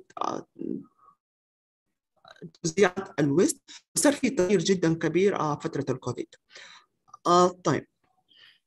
Uh, waste from patient uh, on isolation room uh, مثلا uh, طيب اذا قلنا انه patient isolated for MDR uh, for multi drug resistance uh, فين أنا احطه؟ ف always uh, should be disposed in black bag يعني اي patient على contact precaution بالذات ال patients اللي على MDROs جميع ال waste uh, بيكون فين؟ في ال medical uh, في, في ال black uh, bag MDROs غالبا بيكون ال patients على single room تقريبا أو contact isolation غالبا حنتكلم عن الزملاء حيتكلموا عن هذا مواضيع العزل فهنا قلنا ال bag أو ال waste بتخلص منه في ال black bag إن جينا patient isolated for high infectious disease لما نيجي نتكلم عن الهاي infectious disease نيجي نقول عندنا الإيبولا small box anthrax تي بي patients uh, عندنا الهاي uh, عندنا cases هو يكون critically ill COVID تمام uh, هنا management uh, used a dispose of PPE and all other patients care equipment in hazard medical waste يعني هنا نقول انه البيشنت غالبا اللي يكونوا under airborne isolations uh, بنتعامل معاهم على انهم جميع ال waste المستخرج من غرف العزل في ال airborne isolation بيتحط فين؟ uh, في في ال medical waste. Uh, نجي uh, بالنسبة لل patient isolated for confirmed non-infective uh, TB uh, مثلا إنه non-open pulmonary TB, uh, brittle TB uh, with drain uh, TB from uh, non-draining infections. غالبا هذا وعندنا البيشنت uh, uh, H1N1 uh, ميرسكوب uh, كورونا لما نيجي قلنا عن ميرسكوب وكورونا إن 95 اللي هو كورونا فيروسز هذا لما نتكلم إنه المريض ما بيكون كريتيكالي ill.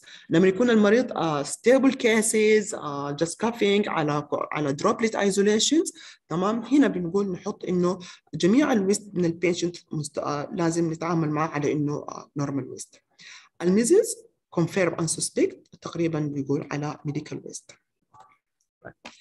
آه هنا آه تقريبا هنا ال slide بيوضح آه جميع ال devices أو ال instrument المستخدمة في ال patient care how where to dispose تمام؟ فإحنا عندنا هنا اللي هو هذا ال sharp عندنا black وعندنا infectious waste وعندنا اللي هو ال cytotoxic waste آه غالبا آه في ال comment آه عندنا ال IV tubing for blood and blood and product عندنا هو cytotoxic waste تمام. عندنا لو قلنا ال الان جي تي الاي في تيوبينج blood or blood product or, or psychotoxic uh, nor chemotherapies uh, غالبا هذا احطها في البلاك تمام. السرنجز without needle and used for blood and blood product أنا احطها في الميديكال ويست ليش؟ لانها غالبا فيها blood blood product طيب نجي السرنج uh, without needle and used for psychotoxic and chemotherapy غالبا نحطها في ال cytotoxic waste uh, syringe uh, without needle and not used for blood or body fluid زي ما ال syringe اللي نستخدمها for uh, for medications uh, غالبا uh, بنحطها في إيش في, في ال black ال syringe needle بنحطها في الايش في ال sharps items غالبا إحنا هذه كلها بتمر علينا في في, في ال daily life في ال hospitals تمام؟ آه صار أول آه في كان في misunderstanding بخصوص آلية التفرقة في في ال segregation لكن الجدول هذا بيوضح بصفة عامة جميع ال devices وجميع ال instrument لما نجي نتخلص منها فين بنتخلص منها بطريقة صحيحة؟ آه عند ال blood gas syringes نتخلص منها في ال sharps items آه عندنا ال blood gas analysis اللي هو cartridge containers بنتخلص منها في ال medical waste عندنا من مثلا آه ال bile bag وال drain آه تقريبا هذا بتخلص منه في ال normal waste ولكن ال drain آه كانت آه ال contents into اللي هو ال hopper أو ال toilet. تمام؟ آه عندنا كمان مثلا عندنا ال mucus trap أو ال neuro external drain collection site آه بصفة عامة هذه كلها بنتخلص منها في في ال sharps items آه نجي تقريبا في ال mucus trap أو ال tubing suction trap نتخلص منها لازم في ال medical waste آه يعني تقريبا هذه in general حتلاقوها إن شاء الله موجودة في ال في ال في التعميم الصادر من وزارة الصحة in details وبيتكلم بأطول يعني جميع ال items وجميع ال content الموجودة في ال health care facility أو آلية التخلص منها. آه ألين هنا ونقول لكم يعطيكم العافية وأي question يعطيك العافية شكرا إيمان. أستاذ إيمان على المحاضرة الأكثر من رائعة. آه في أي أسئلة؟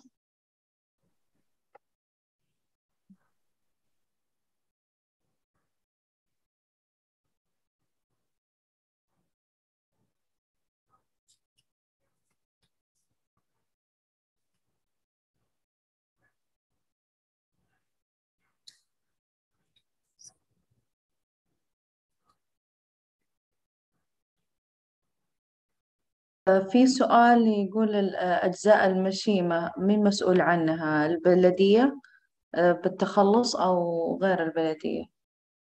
آه طيب أشواق بالنسبة للمشيمة وأجزاء زي ما قلنا تتجمع في في ال black في في عفوا في ال red plas بلا بلا اللي هو red waste اللي هو بلا ال red plastic. ولكن يتم تجميعها عن طريق الشركة المحصلة. اللي هي شركة سيبكم هي تجي تاخذها وباتفاقية مع البلدية يتم دفنها تقريبا لها أماكن خاصة للدفن. بس الشركة هي اللي تجي تاخذها تمام. يعطيك العافية. في سؤال آخر هل أثناء التجميع من الأقسام وكيف يتم تغيير الجوانتي بين الأقسام لأنه غير متوفر؟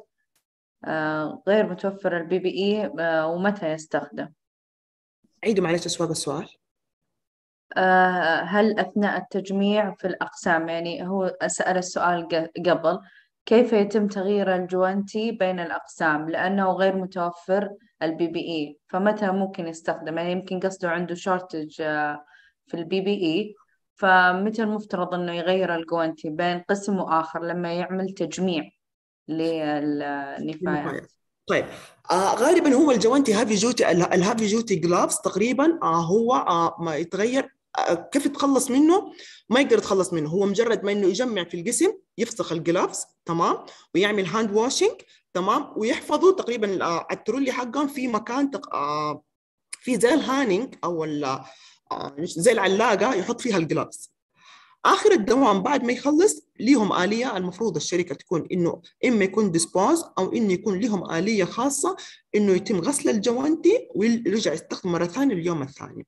هذا إن كان يتكلم عن ال heavy duty gloves إذا غير موجود ال heavy duty gloves وبيستخدموا الجلافزات الجلافزات المستخدمة عندنا في آه، في ال daily cares يكون مجرد ما إنه يجمع آه، النفايات ويحطها في, في الترولي يقفل الترولي يخلع ال gloves ويعمل hand washing أو hand rubs غالبا وينتقل للقسم الثاني. يعني لا يطلع من قسم لقسم آخر وهو لابس ال gloves. لازم يخلع ال gloves ويعمل hand washing وبعد كده ينتقل للقسم الثاني ونفس الشيء يلبس gloves ويبدأ ثاني يكمل شغله. آه، في سؤال كمان هل هل في مدة معينة لو ما تعبى ال container بقى بقى بس لازم أغيره؟ آه هذه حسب الآلية الموجودة في ال في الجايد آه في اللي هو في, في التعميم. آه أول كانت يقول لك مجرد سبعة أيام وتشال أو وفي آلية ثانية تغيرت آه يقول لك يعني هي صراحة هي فيها فاريشن آه إنه لو لو ما تعبت وما فيها مثلا بلد ولا حاجة عادي ممكن تجلس ألين ما تتعبى. وعلى حسب سياسة اللي هو سياسة الشركة بعض الأحيان الشركة تخليها لمجرد ثلاثة أيام أو سبع أيام وتجي تشيلها. إذا إذا ما تعبت للل limit المحدود تمام بالنسبة للنفايات النفايات هي الأدوات الحادة ما هي أقصى فترة يمكن الاحتفاظ بها في القسم أو العيادة؟ احتفاظ فيها كيف؟ ما فهمت السؤال هو كاتبة كذا فأتوقع أن قصده أنه ممكن تقريبا نفس إجابة قبل شوي بس هنا مصنف الأدوات الحادة يعني قصده على ال sharp container على ال sharp container أتوقع. آه ممكن. إذا كان ال sharp container ال limit للتعبئة حقته ثلاثة أرباع وبعد كده يقفل ويجي العامل يشيله. حتى إن جاء العامل مثلا نقول آه إذا العامل لسه مثلا إنه تعبى ال sharp container وما جاء وقت التجميع. فبالتالي رئيس القسم تمام المشرف على القسم اللي هو رئيس مكافحة التمريض ولا الممرضة ال supervisors آه بتجي بتحط container جديد تشيل هذا ال container اللي هو المتعبي المليان تغطيه وتحط على ال label وتحطه في غرفة التجميع الموجودة عندها في القسم وتحط واحد جديد ألما يجي العامل ويجمعها كلها. تمام يعطيك العافية. آخر سؤال يقول يوجد أدوات حادة خاصة للعمليات ويكون حجمها لا يكفي أن يوضع في ال sharp container كيف يتم التخلص منها؟ بالفعل صحيح. في بس في conta- في containers خاص آه بالنسبة للعمليات. أنا عارفة إيش قصده. آه قصده مثلا زي ال ال زي ال tubes الطويله اللي تستخدم زي في ال CT tubes. آه هذه لها تقريبا لها container مخصصة يطلبوها من الشركة بتوفر لهم إياها. ما تتوفرها الشركة إلا بالطلب. تمام. آه في سؤال ولكن أنا بقرأه زي ما هو. آه لو تخلصت من الكيس الأحمر هل يتم وضع الكيس الأحمر المستخدم داخل كيس أحمر جديد أو بكيس أصفر جديد؟ أنا صراحة السؤال مش واضح لي بس ما أدري إذا فهمتي منه شيء آه كيف أتخلص من الكيس؟ لا ما نحط كيس أحمر في كيس أصفر هذه مشكلة لأنه أنت كده بتعملي آه للعامل آه الكيس الأحمر زي ما اتفقنا ما يستخدم إلا لل آه لل organs تمام؟ والكيس الأصفر بيستخدم آه لل waste بصفة عامة اللي هو ال hospital waste ما نحط كيسين في بعض آه ولكن ممكن نحط كيس أحمر في كيس أحمر إذا مثلا كانت جودة جودة أو جودة الكيس رديئة آه أو ما نقول رديئة نقول خفيفة لأنه في بعض الأكياس تجيني مرة خفيفة فبيكون إنه من الخوف أو من حرص الممارس الصحي إنه لا يصير splash ولا إنه لا الكيس يتفتح عليه فبيحط كيسين في وسط بعض. فأنا كده أحط كيسين حمر في وسط بعض إذا كانت الجودة رديئة. أو الجودة من الأكياس الخفيفة أحط كيسين في وسط بعض وأربطها. بس لازم يكون كيس أحمر وكيس أحمر أو إذا كانت كيس أصفر وكيس أصفر وغالبا الكيس الكيس الأصفر ما صعب إني أحط كيسين في وسط بعض إلا إذا مثلا لما جيت أرفع الكيس لقيت إنه مثلا كيس خفيف وبدأ يتشك معايا. في هذه الساعة ممكن يكون رفعه بطريقة بآلية سهلة أو ببساطة بحيث إني أوضعه في كيس ثاني. وهذه غالبا بتكون عن طريق برضه زي ما قلنا اللي هو الجنين عامل النفايات الطبية تمام القفاز هل القفازات وأدوات السلامة الشخصية بدون تعرضها للدم يتم التخلص منها في الأكياس الصفراء أو السوداء؟ آه قلنا على حسب حسب إذا صح؟ كان اذا إيوه إذا كان المريض في إذا كان المريض TB وفي غرفة negative pressure rooms بنتعامل معاها في الإيش؟ في ال medical waste. لكن إذا كان single rooms وأشعة و department عادية في ال normal waste. آه، حتى في- موجودة في أيوه شو؟ آه، في سؤال ثاني في ال COVID 19 patient still will dispose PPE in the black ba- bag إذا كان. عندنا case. ما إحنا قلنا كوفيد إذا كان critically ill cases و ventilated وتعبان ومعزول في negative pressures أنا بحطها في medical waste عفوا. لكن إذا كان ال patients stable cases وعلى وفي single room وعلى droplet أنا بحط بس ال dispose حقها بتكون في ال black plast- آه bag المشيمة تستخدم آه، بعد التجميع في بعض الأبحاث العلمية آه، في العلاجات. فيعني ممكن قصدك كيف يتم الاحتفاظ فيها. لا أنت ما تحتفظي فيها. عشان كده آه إحنا ما نحتفظ فيها. عشان كده كل مشيمه نخلص منها آه كل مشيمه تطلع من القسم يتم عددهم يتم يتم عدها وتسليمها عددها آه للشركة وبالتالي يتم تسليمها للأمانة لدفنها بنفس العدد. بدون أي اختلاف. آه فهذا الموضوع يعني آه كبير فيه فما نتخ... ما نح... ما نحتفظ بالمشيمة ابدا. لا يتم. الاحتفاظ بالمشيمة. تمام يعطيك العافية. آه، تقريبا جميع الأسئلة المتبقية آه، أسئلة معادة مكررة نفس اللي أنت جاوبتي عليها. فيعطيك العافية وشكرا لمحاضرتك الرائعة وشكرا لكم جميعا على حسن الاستماع. وتفاعلكم آه، خلال آه، الأسئلة آه، وأجوب من قبل المحاضرين يعطيهم العافية وإن شاء الله ننتظركم بكرة في نفس الموعد الساعة السابعة مساء. يعطيكم العافية جميعا. شكرا أشواق يديك العافية. تسلم. الله يعافيك. شكرا لك.